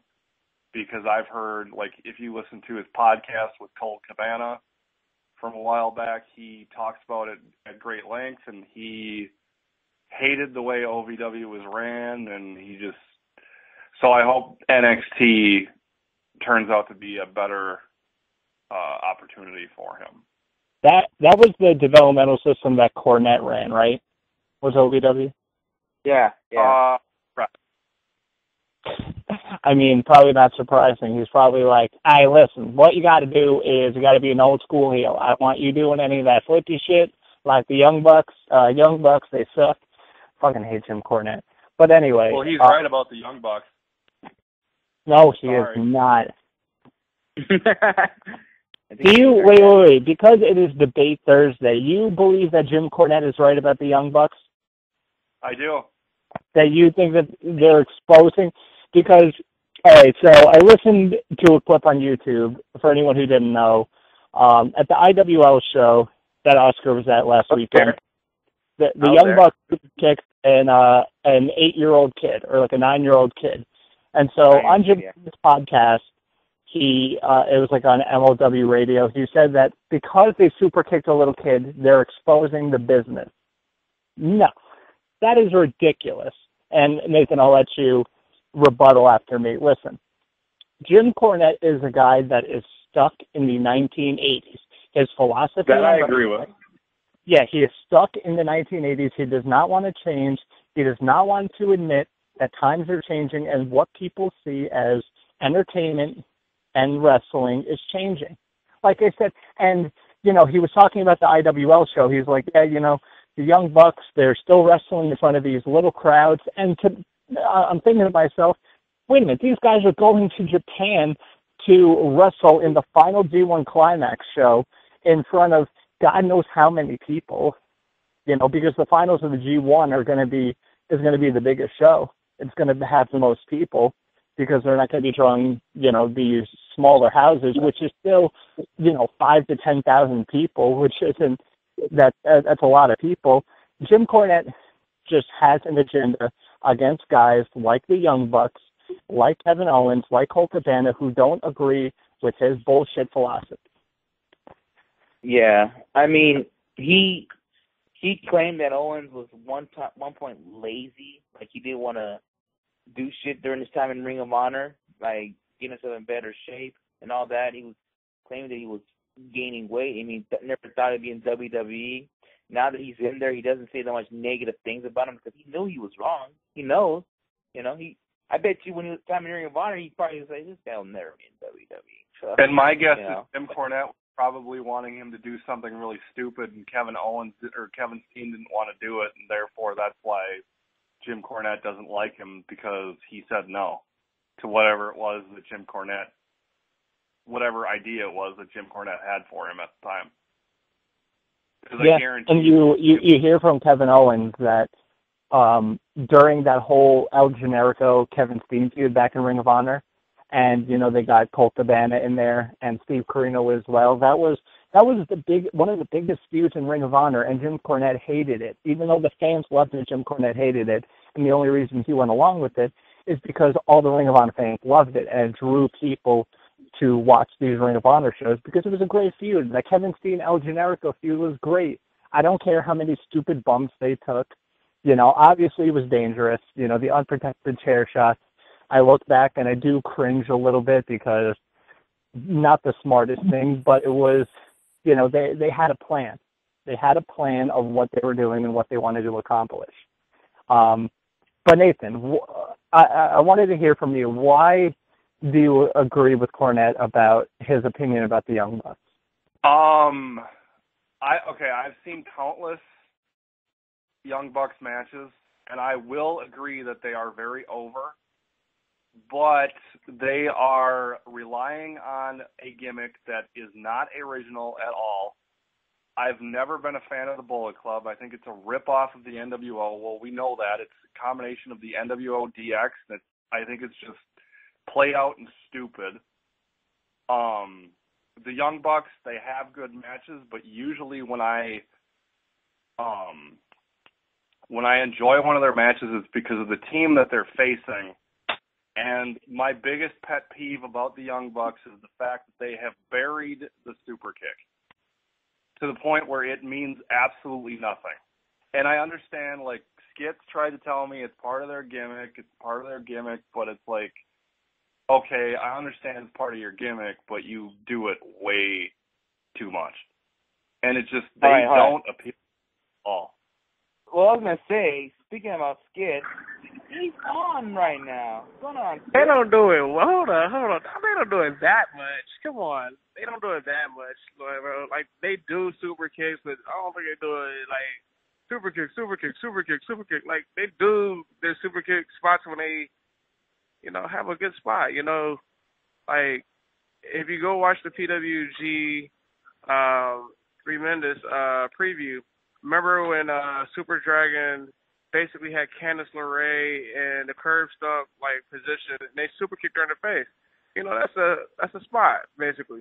Um, you know, they got their move that they uh, you know, the the uh, corner move that they have. Uh, they have a like. I just don't understand like why you hit on the book so much. Like they have their moves besides just super kicks. Like I don't. They just like, don't appeal to me at all. As a wrestling fan, they just I watch them and it's, it's like they're nothing the Young special Bucks is the Young Bucks is clearly the fucking best tag team in the fucking world, hands down. No, Um, not with not in a world where Red Dragon exists. I'm sorry. Red Dragon right now is not the best tag team in the world. Not this year. Maybe last year we could talk that. This year we can't debate and put Red Dragon there. There's no other tag team that's touching them this year. If you give me another tag team right now that's actually touching them, then we can debate that right now. Because Red Dragon's not that team right now. Because if you look at the storylines on, on uh, Ring of Honor, you see Bobby Fish is about to uh, be in the uh, TV uh, title scene. So and Kyle O'Reilly's doing his own shit. You know, IWGP title, he got that shot.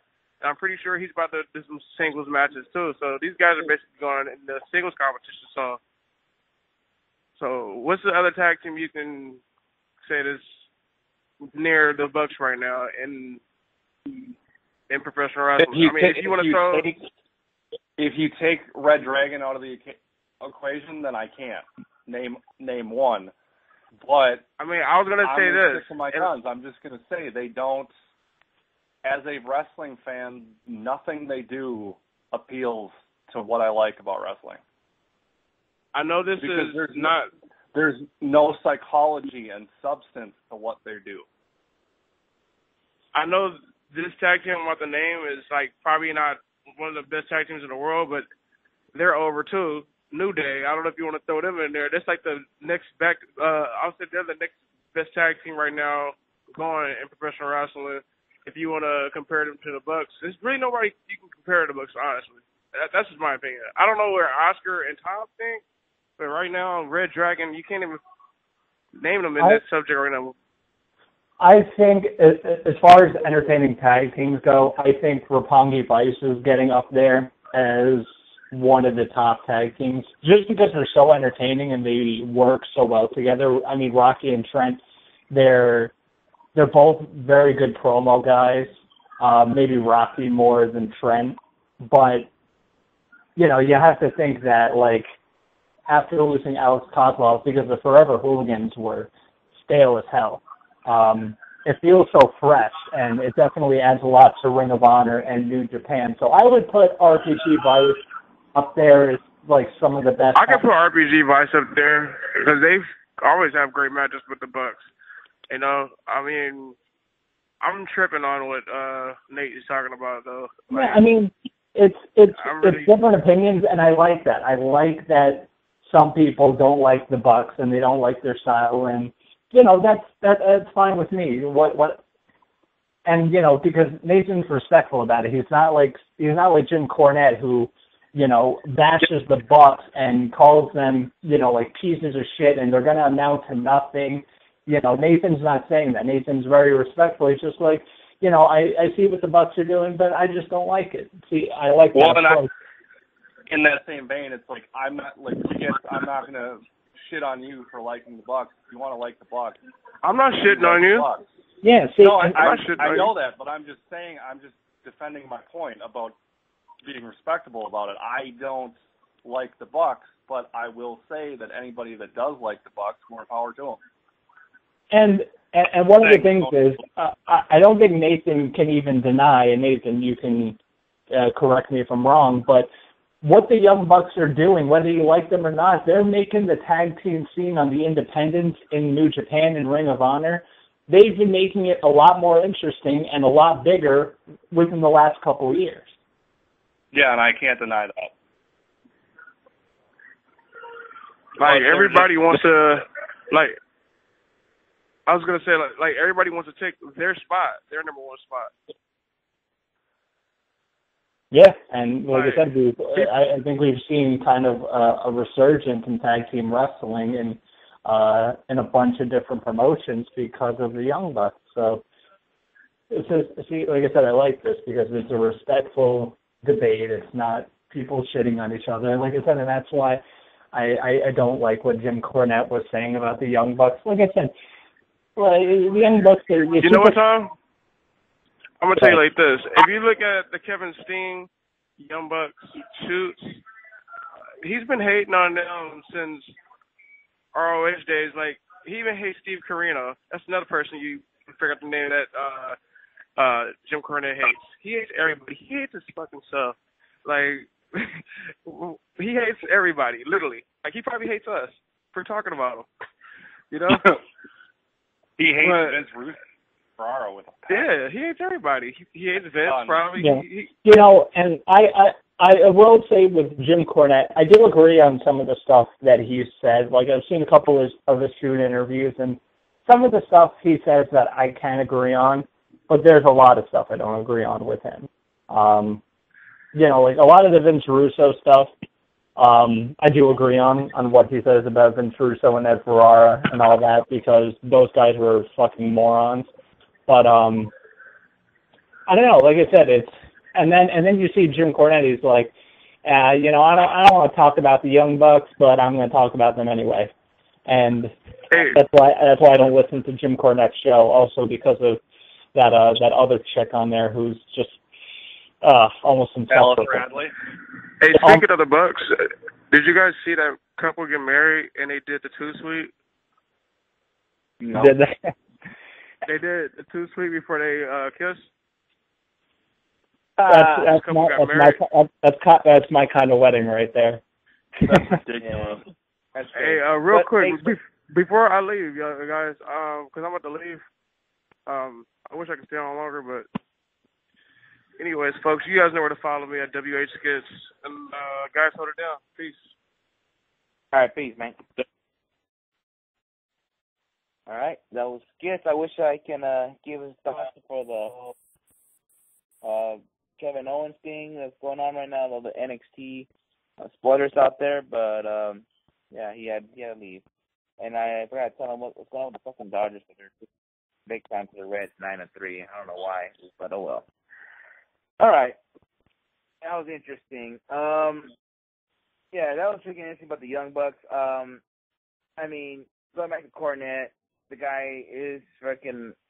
I don't know. He should stay away from the world of professional wrestling. I can say. And see, I'm gonna tell you this right now. I was at that IWL show, and I, when I saw the Young Bucks kid, I was like, "Holy shit!" I I I wish I recorded the whole thing because I, I I wasn't sure what this all was leading to. And then they super kicked the kid. I was like, "Holy shit!" I was like, "Fuck." Imagine I had it on video before everybody else posted on Twitter. Like I'm like the first one there. That would have been sweet. But I just don't know what the whole kicking the kid thing or something. Not the kid, the father, and to the kid thing. I like I didn't even know where it was going to. But then when, it, when I was looking at the kid laying on the floor, like, I gotta take a picture of this shit. Bam. And then uh Matt Jackson retweeted it, and it went all over. So yeah, that was freaking that was freaking amazing. That was a that was a cool show, and um and um if anybody in the California area, the IWL's next show is going to be on uh October the third in Baldwin Park, California. Uh, it just been announced that Paul London will be at the show, so you guys gotta check it out if you guys want to go to that show. So I just put the date out there, October third in Baldwin Park, California. All right. Um, I, I kind of want to when you guys mentioned uh, Evolve earlier today, I kind of want to go to the card for a bit.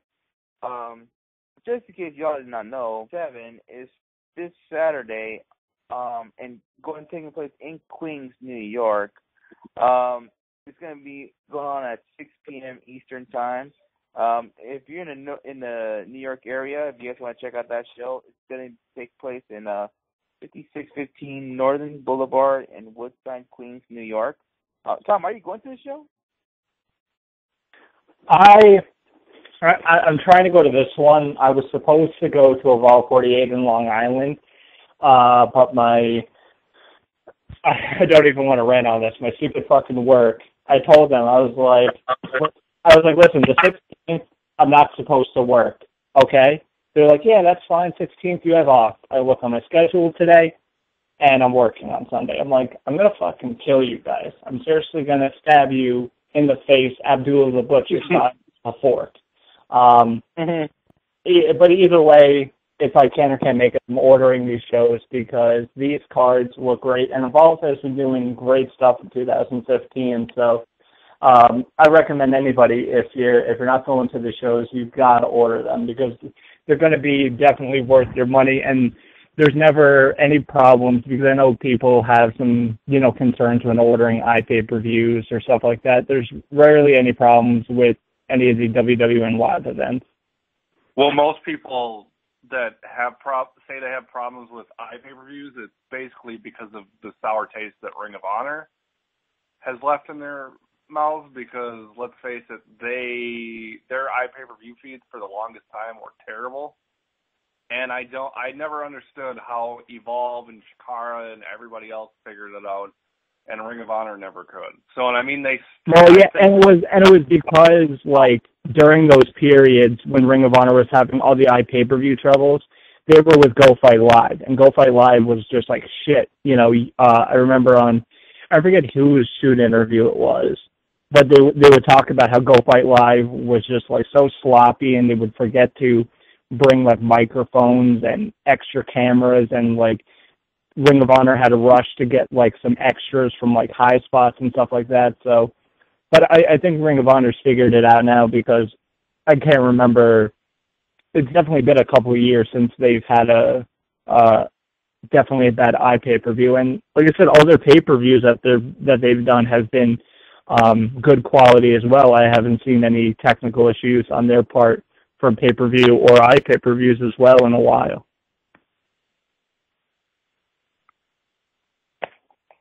Yeah, definitely.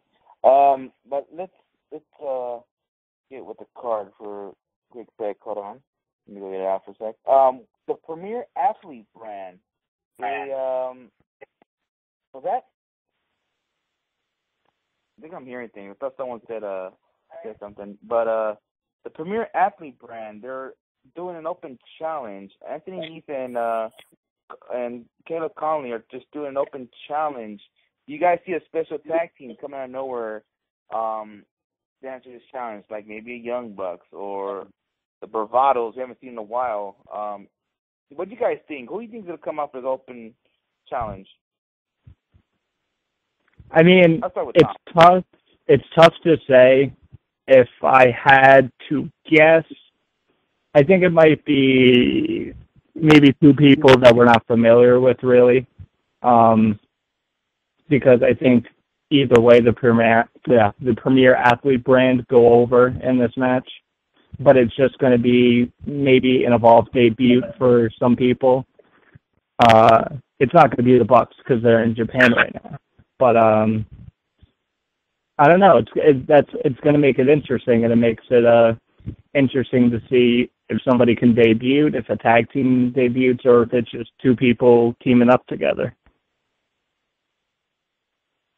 I think Yeah, it would definitely. have to be two guys that have experience because why would you bring in two guys and have them team together and then like when they don't have any experience because they are hyping a team as a mystery team, correct?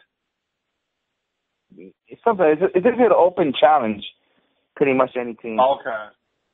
Well, because if it's an open challenge, then it could go either way. But I would rather it be an actual team because then you're guaranteed a good match out of out of it, depending which team they get. You know what I mean? Where versus if it's just two random guys that they decide to put together. Which I in tag team wrestling, nothing makes me mad more than two guys just thrown together for the sake of doing it. We'll figure out what this team. Hopefully, we'll find out. We'll find out this weekend what this tag team is gonna be. But uh, let's let's get with this one match. Um, Biff Busick against Tracy Williams. Um, I'm not familiar with Tracy Williams at all. Um, maybe you guys can help me out here, but uh, I'm not giving any predictions. But I, I don't know what to say if this is gonna be a great match or not. But uh, I don't know if any any of you guys are familiar with Tracy Williams. But uh, yeah, I don't I don't know. Tom, are you guys familiar with him or? Yeah, I've seen a couple of Tracy Williams stuff. Uh, going, he goes by Hot Sauce Tracy Williams. Uh, he does some stuff in uh, AIW. Uh, that's where I've seen some of his stuff, and he's kind of getting a lot more steam in uh, in in Evolve as well. Uh, he's he's a very good talent. I think he'll mesh really well with Biff Busick. So uh, I'm looking forward to this. And Tracy Williams is definitely uh, he's definitely somebody to look out for. Um, he's definitely getting better and better uh, each and every time, and he's going to be definitely um, a name to to look out for. You know, he's he does some stuff in Beyond as well, so he's getting his name out there. Um, so I, I think it's going to be good, and it's going to be good exposure for the people that have maybe never seen him before. If you haven't, like I said, he does stuff in AIW, Beyond Wrestling, um, and like I said, he's he's definitely a talent that's going to be making an impact within the next couple of years in uh in the independent scene. And of course, Biff Busick is Biff Busick, and he's probably going to uppercut his head off, but uh it should be good. Yeah. All right. Well, let's just see uh, what happened. Uh, Nathan, are you familiar with his work? Um, I'm fam- familiar with Biff Busick more than I am with his opponent. I haven't heard of his too much of his opponent, so based on what I know, I would have to. If you're asking me to predict, I would probably say that this Biff Busick is going to win. But like I said, I haven't heard of this the guy that he's wrestling until now. So. All right. All right. Well, we'll see what happens. All right. Um, Trent Baretta will be going against Ray Hornets. I mean, I've been looking up Ray Hornets a lot. He's not that bad. I mean, I first heard about him during the the Kingdom Indies uh thing they had in WrestleMania week, uh, which I didn't go to none of the shows. And then um I've been watching stuff on YouTube, and he's getting booked around here in Los Angeles. A couple of lucha shows out here. Um, he, he's not bad. He's pretty good. I, I like Hornet. And then uh he's going against Trent Riddle. No, Trent could could put out. He could do work in the ring. We all know he can. He, he's gonna um show up and put up the match. But I think this match is gonna be pretty good. I don't know what you guys think, but I think this match is gonna be really good. Yeah, I think it. I think it should be good as well. Um, you know, Trent being back in the vault is definitely is definitely good, and Rey Horus is another guy who's getting better each and every time. I've only seen him a couple times in Evolve, but uh, definitely shows a lot of promise and uh, looks to be another another great high flying addition to the independent scene. Um, let's just see how how this goes. Um, like I said, I, and I've seen people talk about Rey Horus and um, the potential he has. So I think this is going to be a good test for him and against a guy like Trent. Yeah, we'll see what Ray can do. Um, I've seen a handful of his matches, so I'm not too familiar with them. But I think anytime you put a guy against Trent Baretta, they'll have a good match because Trent Baretta, from what I've seen of him on the indie scene, has been really good. Don't understand why WWE decided to let him go. Why didn't they let him go? Because they had nothing for him, and they didn't realize what they had. So, I mean, Yeah, and look where he is now. He's awesome. yeah, you know, you know what? In the same time, you know, when when he was at PWG, uh, his first show, the crowd booed the shit out of him. Like he's a fucking. Don't they always boo joking. somebody who comes in from WWE though, or like a former WWE know. guy? I don't Okay. know. Like, uh, I don't think so. Like, I, I could see either. Let's just say they bring in PJ Black. I could see the crowd cheering for him. I could see that. Yeah. You know, they just probably people saw Trent like he's just another. I'm trying to think of a name that no one gives a shit about in the current roster. Um, that if they get released, who gives a fuck about him? Um, Zack Ryder. Well, I don't want to put his name out there because he, at one point he was doing good. Maybe Adam Rose. Like if they release him today, then anybody will give a shit. No. But if he comes to a PWG ring, they will boo the shit out of him. I mean, not only that, I remember I saw him at uh, Championship Wrestling from Hollywood taping. They booed him too. You know, they just they just looked at him as a fucking as a former WWE jobber. But then when he showed off his ring skills, they they somehow it just turned around. They just show respect to this guy. And uh, look at him now, he's getting booked everywhere in Ring of Honor, New Japan, Evolve, going everywhere now. So he's doing well in the Indies, we can see. All right, uh, next match. Chris Hero going against Mike Bailey. You know what? I think I saw this match at PWG before. I want to say. Yeah, you know what? It did. Yeah, last last show, and he beat Chris Hero, and that was a pretty good show. Um, good match actually. And yeah, he. This is the rematch from PWG, which it was a pretty good match. Um, I'm I'm sure you guys saw clips on the freaking um DVD preview, but uh, yeah, I hope it, it pulls off like that match that they did in PWG, and then if they do, you you guys are looking for looking forward to a good match. So I don't know if you guys any got any thoughts on this match. Yeah, should Just be. that I know that's going to be really good. Yeah, just just like Nathan said, it should be great. Mike Bailey having a, a breakout 2015, and Chris Hero having. Uh, I, I, I don't want to say this is the best year that Chris Hero has had, but he is having a hell of a year. The matches he's been having with Zack Sabre Jr., uh, Biff Busick, Timothy Thatcher, everybody. I mean, it, it seems like in 2015, Chris Hero is doing no wrong as far as in ring work, and not to mention, the guy wrestled three hours up in Smash Wrestling. Like, who the fuck does that? I probably couldn't wrestle for like 15 minutes, and yet Chris Hero can go out there for two to three hours and wrestle. Like, it, it, it's crazy what this guy is doing. So it should be great. Um, I, I like the different meshes of styles. I can't wait to see their PWG match as well as this match as well. Probably going to get, uh, you know, different types of matches, but it's going to be good either way. Yeah, Chris Hero is another guy that WWE dropped the ball on, and I'd like to know more of what happened there. But I'm not going to get into that. But WWE's loss is the indie scene's gain, like we've seen with Chris Hero, because he's great when he's motivated. And from what I've seen of him since he's been back on the indie scene, he has been really good.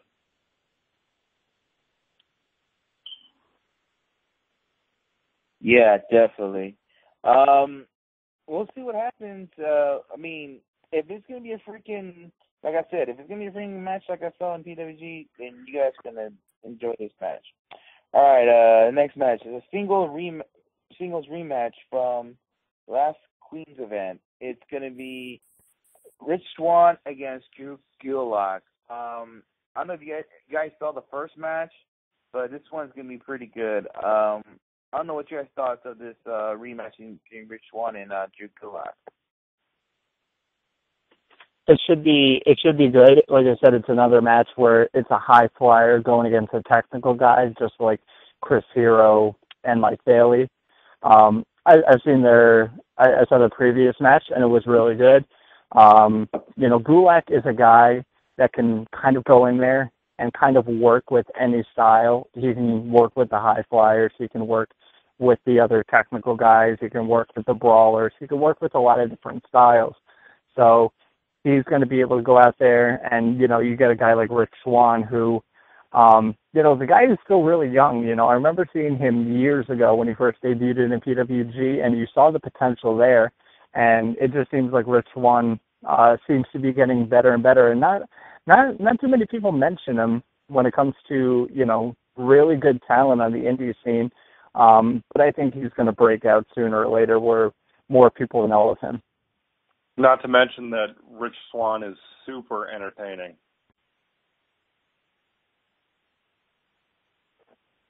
Yeah. Oh yeah. I mean, No, no, me and the guy, couple, me and the guy, me and the guy had a couple of PWG shows. He's freaking awesome, and he got one of our shirts, so he's awesome. All right. Um, the next match, anything goes. Was we talked about earlier about him being on NXT. Johnny Gargano is going against Matthew Grant's boy Ethan Page. Now, anything goes, huh? This is going to be, uh, I don't want to say it's a bloodbath, but these guys are going to go at war, I should say. I mean, this was going on since what, the Evolve shows were going on in WrestleMania. Um, I don't want to say it's the end of the feud, but I could see a war going on between these two. I don't know about you guys, but it's going to be a freaking war.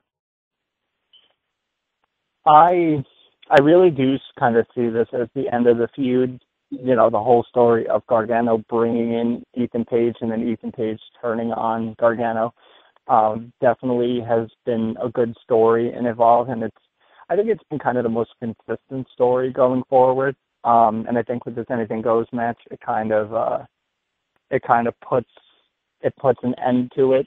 And you know, who knows? Uh, who knows what happens with Gargano going forward? If he does get signed by WWE, this is going to be a big, big loss for Evolve because Gargano has been one of their staples. So I think with this match, you get a guy like Ethan Page and you put him over. You kind of created a new star. Um, and that's good because Ethan Page, especially with the loss of Josh Alexander, I think a lot of people are kind of questioning if he can go out there as a singles competitor and make it. Um, and I think this match is going to prove it. Yeah. With the with the rumors that Gargano's possibly going to WWE, um, well, it's pretty much confirmed. Whether it's going to be a just a one-time deal or if it's going to be permanent is another thing that we don't know. But if it is something that ends up being permanent, I could see this being used as his farewell match or one of his farewell matches, and what a way to go out then with Ethan Page and an anything goes match. And I think this match is going to be completely insane, and it's going to be one of the matches that you're going to want to see off of this show. Yeah. when it's all said and done. Well, I don't know if Johnny Gargano is going to WWE or not, or if he's going to be there permanently. But I can tell you this, though: this if this is going to be one of his last matches in the independent scene, what a good way! Uh, this would be huge for Ethan Page. I'll tell you that right now. Well, that's just all right. speculation on, on my part, but that's just Yeah. if it is if he does get signed to WWE and this is one of his last matches, then it's going to be a great way to go out. All right. Well, we'll see what happens. All right. Um, in the main for the Evolve Championship, you got Timothy Thatcher defending his title against Zack Sabre Jr. Holy shit, man! This is going to be um a technical battle between the two. You know, these guys are two technical um wrestlers. I mean, freaking Zack Sabre Jr. is a fucking Harry Houdini when it comes to submission. He does all these crazy submission moves that you never and it just seems like he just do anything he wants in the ring, he will fucking pull off great submissions. And uh seen him try PWG a couple of times, man, he's freaking amazing in the ring. Timothy Thatcher, he's some maybe be a top ten wrestler, wrestler or, or he could put it another way. He could be the top ten in the list of uh, WH Wrestler of the Year. So he's having a great, phenomenal year. A lot of things this year, and um, and he's deservingly the, the ball um, to carry the Evolve title. Um, I could say it's it's going to be a technical match. Maybe you could say te- technical city if you want to say. um, uh, anybody want to give a thoughts for the, for this match, the main event? This is going to be absolutely insane. Uh, two of the te- best technical wrestlers out there. You know, we've seen Zack Sabre Jr. go out there with Chris Hero. We've seen Timothy Thatcher go out there with Chris Hero, but we've never really seen these guys work together. And you know, Timothy Thatcher is the kind of guy where when he's applying submissions and he's going out there and doing his technical stuff and doing his striking, he does it like he is trying to really hurt you. While Zack Sabre Jr. he does it more of just trying to make you give up. Timothy Thatcher wants to hurt you, while Zack Sabre Jr. just kind of does it to win the match. Um, but these guys are both at the top of their game, and they're just and, and they're getting better, which is like really scary because they're already some of the best wrestlers in the world, and they're getting better. Um, this is going to be great. Uh, definitely, this is probably going to be worth the price of admission or the price of the IK per alone. Yeah, definitely. Uh, Nathan, you got a comment on this match? Um, I just have a quick question before I actually get in my comments or get into my comments. But how long has Thatcher been the champion? Oh, this is going to be his first defense. Okay. Yeah, he that at the last at the last Evolve show he took the both the titles from uh, Drew Galloway. I knew it was recently, but I just couldn't remember how recent it was. But that being said, it's his first defense, so I have a feeling that Thatcher will win because there's no way that a company like Evolve is going to do that unless there's extenuating circumstances, which I don't think there are. But either way, no matter who wins, if Zack Sabre Jr. Deci- or does win, or if Timothy Timothy Thatcher retains, like I said, he probably will. I think this match is going to be one of the matches that you need to see in addition to the co-main event that we just talked about. Like if you're going to buy this pay-per-view, buy it for this match alone. Because I think it's Yeah. going to steal the show easily because both these guys are capable of doing that. Yeah, definitely. Um, all you guys should check that out. Um, that it's gonna be this Saturday in, uh, Queens, New York. If you're not gonna be in the area, you should order it at wwnlive.com. Um, sure, it's gonna be a great show. Well, that's not the only show Evolve's having. The next day, which the show that Tom's to go to in Long Island, um, it's gonna be taking place um at the Fordham, if I'm not mistaken. Tom, is that the name of the place? Yeah, it's going to be in Deer Park, uh, which is in Long Island, um, of all 48. And uh, yeah, should be, like I said, I, I the, Long Island shows are always. Uh, I went to one of them uh, about a year, year and a half ago. Um, very good, and um, like I said, hoping hoping to go to at least one of these shows, but you know, both both, like I said, both these cards are like are are, are stacked. You know. Yeah, definitely.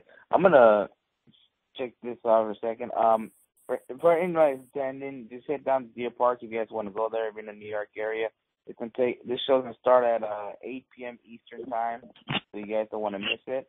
Um, I, I just got one of the matches. The, the there's a tag team attraction match that's going on. It's going to be Drew Gulak teaming up with Tracy Williams going against Mike Bailey and Ray Hornet. Um, like I said, I'm not familiar with Tracy Williams' work. Uh, I'm interested to see him and Gulak team up against two guys who will be playing around there, around, and um, interested to how these guys are going to pull off this tag match. I wish I could give out more comment to it because uh, I'm not familiar with uh, Williams' work, but um, but uh, I know what Gulak could do. I know what Hornets could do, and I know what um what Mike Bailey could do. But I don't know if you guys have any comments uh, of this tag match. Should be good. You know, Drew Gulak and Tracy Williams seem to be kind of forming a tag team. So uh, it should be interesting to see what happens as a result of this match. Um, you know, it's basically going to be two technical guys going against uh, two high flyers. So should be uh, should be good to see how these guys work together. I'm just interested in it because well, Mike Mike Bailey is in it, plus Drew Gulak, and like I said earlier, Tracy Williams. I don't know too much about Rey Horus. I've only seen a handful of his matches, but given what I know about two guys in this match, I think it's guaranteed to be good.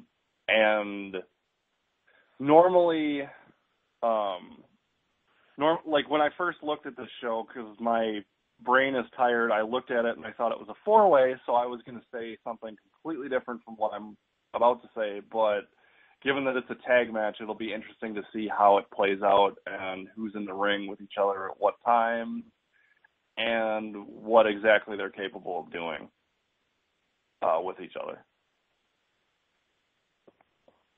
Yeah, definitely. Um, Evolve 41 rematch: Ethan Page versus Rich Swann. Um, I want to. Uh, no, actually, no. I take it back. Uh, I thought said I was going to be at the sh- that, that's the show I was at, but no, no, no. That was some other time. But um, interesting to see they're using Ethan Page in all these matches with uh, guys like Rich Swan and Johnny Gargano back to back. Um, I think it's good for Ethan Page. He's go- he's going to me. He's like Johnny Gargano and Rich Swann are, are are like the top guys when he evolve. You, you want to add Ricochet in there, go for it. Um, but Ricochet the type of guy like he can't you can't guarantee he'll be the next show. But yeah, it's to see what what are they gonna do um, Ethan Page after these evolve shows because he's they're putting him against um, bigger guys back to back nights, and uh, we'll see what will happen. But after the match, I'm pretty sure it's gonna be a good match. Um, Rich Swann flying around. Uh, Ethan Page, total, total asshole like he always is. it's it's all a good match. And so um, I don't know what you guys thought about this match. Um, Yeah, you know, I saw their Evolve 41 match. It was uh, it was really good, and uh, I I expect this is going to be just as good, if not even better. Um, I didn't see their first match, but I'm wondering just how their styles are going to mesh, and I'm pretty sure that they'll be really well together. But it'll be interesting to see um, how Ethan Page and his technical ability matches with or with uh, Rich Swann and his high flying capabilities. Um, because I think they'll really co- go a long way in complementing each other. Yeah, but we'll see what happens. Um, so you of Ethan Page, the next match I'm about to uh, come out with is um, there's a special challenge match. It's Johnny Gargano going against Ethan Page's mystery opponent. Um, do you guys want to give a? Do you guys have any ideas who could be? I don't. I doubt it'll be Josh Alexander, but um, yeah. Who do you guys think could be Ethan Page's a mystery opponent for Johnny Gargano? It's tough to say. I feel like Ethan Page might bring out someone from Gargano's past, um, but it could be just somebody else. Uh, it is like I said, it's it's right now it's tough to say who it could be, but that's uh that that's the great about this is that it could be could be anybody. So that's why, you know, gotta order the event and see what happens. Yeah, pretty much what Tom said. I mean, I'm not sure exactly what to expect because it could literally. Are they talking about somebody who's on the roster now? Or are they talking about someone who hasn't been seen for a while? You know, they could pull out anything, or they could have somebody who's never even appeared in Evolve make an appearance. So. All right, we'll see. Maybe you bring in a, uh, a Canadian talent. We'll see. Uh, we'll, we'll find out this Sunday. Um, former partners collide. You have Trent Baretta going against Caleb Konley. Holy shit! Oh, just anybody's confused, um, Trent Baretta got kicked out of the Premier Athletes brand due to the fact that he he did not help out um SoCal Val at the last Evolve show. So yeah, after if you guys are confused, so yeah, he's no longer in the Premier Athletes brand. Um, but yeah, definitely pretty much.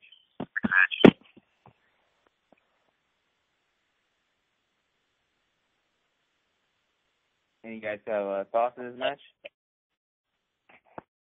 Which match is it? Because I'm not seeing it on the sheet that I'm looking at. It's Trent Baretta against uh, Caleb Konley.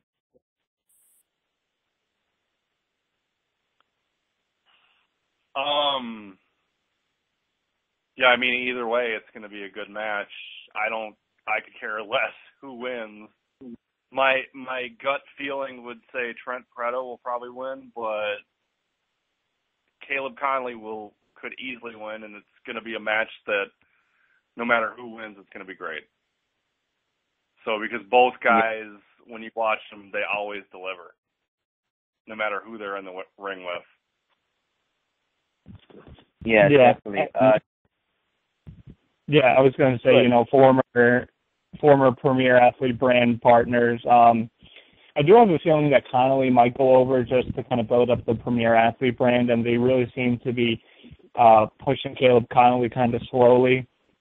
So it wouldn't be wouldn't be too shocking to see Connolly go over in this.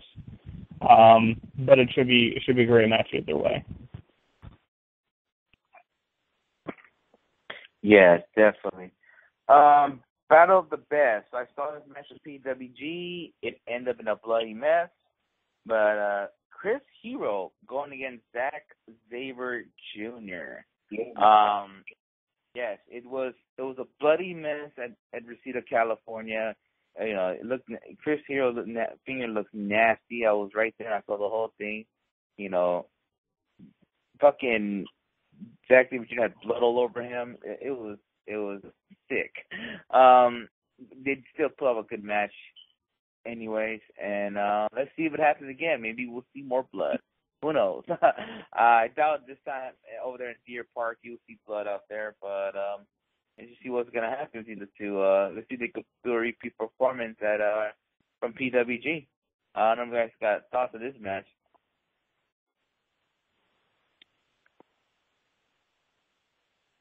Yeah, I mean, it's gonna be gonna be great stuff here. Uh, I, I'm still waiting on Mystery Vortex three to see this match, but what I saw from the preview, uh, Chris Hero's finger got fucked up. Um, and it should, like I said, it should be a great match. Two of the top technical guys in there, they're gonna beat the shit out of each other. It's it's gonna, like I said, another match that's really worth buying these shows for and going to see it because uh, both these guys are at the top of their game, and it's uh it's stuff like this that really uh it really sets apart a lot of the independent scene from from another. You know, you look at companies like PWG and Evolve that are booking these shows, and people people love these matches. So uh, hopefully, Chris Hero's finger remains intact on uh, on the show. yeah, I hope so too. I mean, it was it was a bloody mess on that that that show. Um, Nathan, you got thoughts on this match? Um, just that I think it's going to be one of the stiffest matches we've seen in a while because both these guys are capable of hitting hard. Um, I just think these guys are just going to beat the shit out of each other. So I think both guys will probably, or one or both guys will probably get busted open. It's just, it's going to be a fight and it's going to be awesome to watch. If anything, and I can't if. I'm gonna say, if if there's gonna be blood, I sometimes this time I think Zack Sabre Jr. is gonna be the one bleeding. Yeah. Yeah. All right. Um, last one, uh, the main event is gonna be this is a non-title match.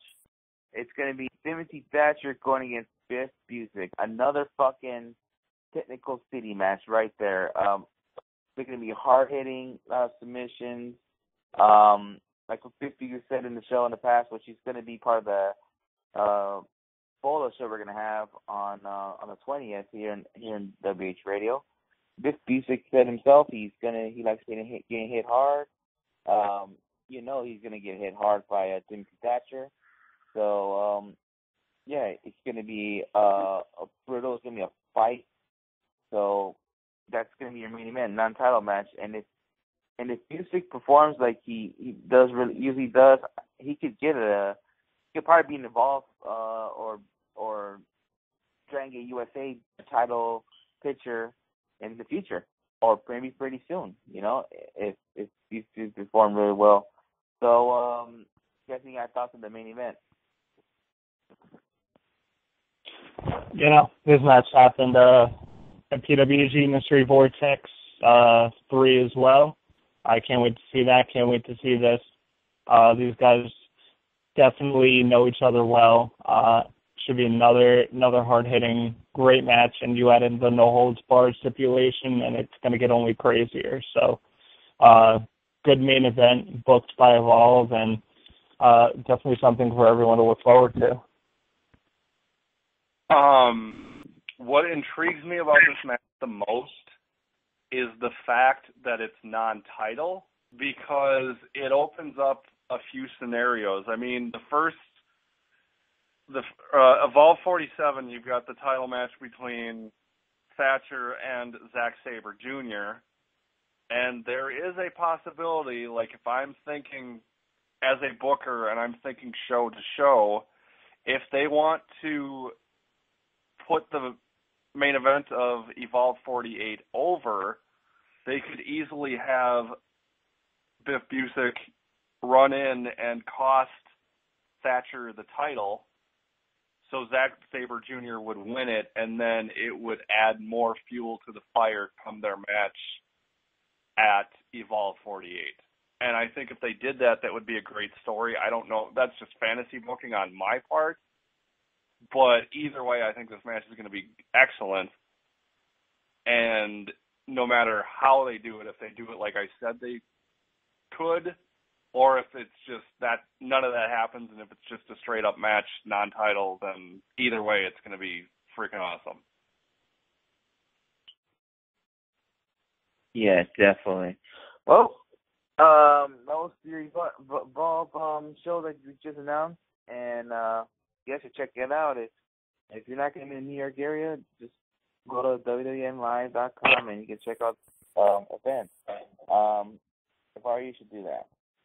All right, let's uh, close out the show. Uh, we'll get a little overtime, but um, I think it's time for us to give us some plugs. Um, uh, just follow Wrestling Heads on Twitter, um, Instagram, Google Plus, uh, Periscope. I was I did record uh I did a Periscope when uh maybe a few minutes before the super kick around the world happened. you can say. Uh yeah, just follow us on Periscope as well. And um yeah, go visit us at wrestlingheads.com. So we put the latest news and everything that's going on. Check out the blogs as well. Some of the writing blogging stuff about uh, wrestling. So you guys should check that out as well. And uh, you guys can follow me at Sinister632 on Twitter, Instagram, uh, Periscope. Oh, and also I forgot to mention, go to Pro Wrestling Tees. Support us. Go to ProWrestlingTees.com slash WrestlingHead and buy a shirt. Or come see me or skits at a show around California. Um, and uh, once again, I'm not to disrespect big dudes or anything like that, but uh, when when we carry the boxes, it's just we don't have more than a 2x. So if uh, if you're looking for a 3x or higher than that, I suggest you to go to prowrestlingtees.com slash wrestlinghead and you can probably get a shirt if you're that plus size. Um, so yeah, check that out because usually you don't carry that much uh, that big size uh, on uh, with us in our, in our little box we have there. So uh, I just want to put that out there. Um, and yeah, follow Skits call it under at WH Skits. And uh, if you want to hear past episodes, go to either go to youtube.com slash wrestlinghead. You can check out all old videos. We had interviews like Biff Busick or cheerleader Melissa or my alone interview with uh, Su Yung or uh, Cage or Sleezy Sparks. Just check them all, check all that out. Um, on uh, YouTube slash Wrestling Heads. Um, yeah, and don't forget, uh, on, on August 20th, we're gonna have Biff Busick on just to preview BOLA, and we're gonna have the show on earlier at 9 p.m. So you don't want to miss that out. Um, all right, who wants to give other plugs? Yep, you can follow me on Twitter at to tweet me. Uh, pretty sure my Periscope is the same thing, but I'm rarely on there, but if you follow me, I'll follow you. Watch your stuff. Um, make sure you guys are following the rest of the Elite Podcast Network at Elite Podcast Net. Of course, Monday and Thursday, Wrestling Heads, and like Oscar said, next Thursday, big BOLA preview show. Um, gonna have on Biff Busick and maybe some other people as well. Who knows? Um, and every Tuesday and Wednesday is the Indie Power Rankings. Um, of course, Beyond the Three Count and the Uncle Mike and Tom Show uh, release shows every Thursday, around there, around every Thursday or Friday. Uh, Hacker Scotty O'Shea wrestling with myself every Thursday as well. Definitely recommend checking that out. Get a wrestler's perspective. Of course, Eyes on the Ring every Sunday. And uh, before I pass it on to Nathan, uh, this is definitely something I wanted to throw out there to people. Uh, this Saturday, uh, Fighting Back is happening in Canada. It's actually Fighting Back 5. Um, it is going to be a charity event uh, for the Canadian Can- uh, Cancer Society. Uh, guys like Ultimo Dragon, Roderick Strong, um, th- they're going to be in the house. It's going to be a big show. All proceeds are going to the Canadian Can- Cancer Society. So if you're in the Canada area, make sure you guys go and check that out. I believe it's in Ottawa. Um, so if you're in the area, make sure you check it out. But there's also another way if you're not in Canada to check it out. Uh, technically today, Friday, uh, 3:30 p.m. Eastern. Uh, the guys over at New Legacy Inc. Of course, big wrestling fans, and they do a bunch of bunch of silly stuff on YouTube and gaming streams and all that. They're doing a 24-hour stream uh, in coordination with uh, Fighting Back. Uh, so you can donate through there, or just go and check them out at hitbox.tv backslash Fighting Back.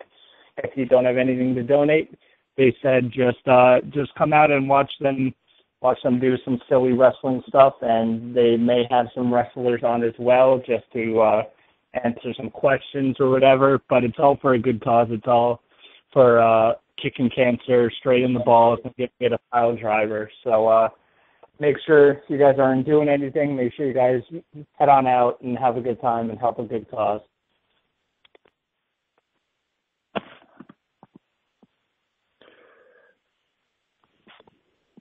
Nathan, you want to go your uh, plug?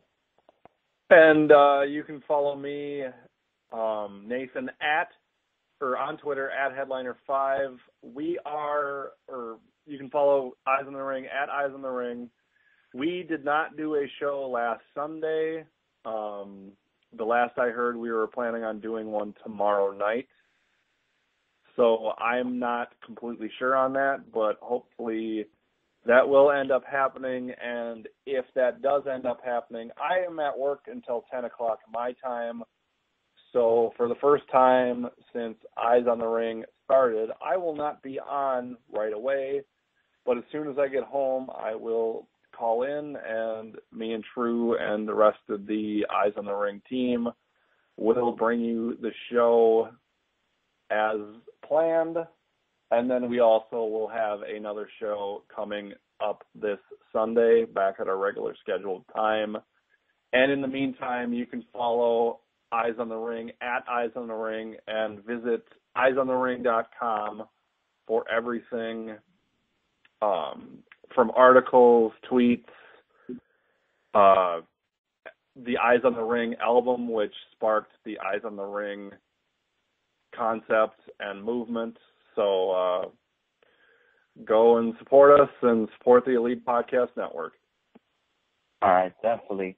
Well, ladies and gentlemen, we're about to end the show. I guess until Monday, we're out. See ya, bitches. Peace. Peace.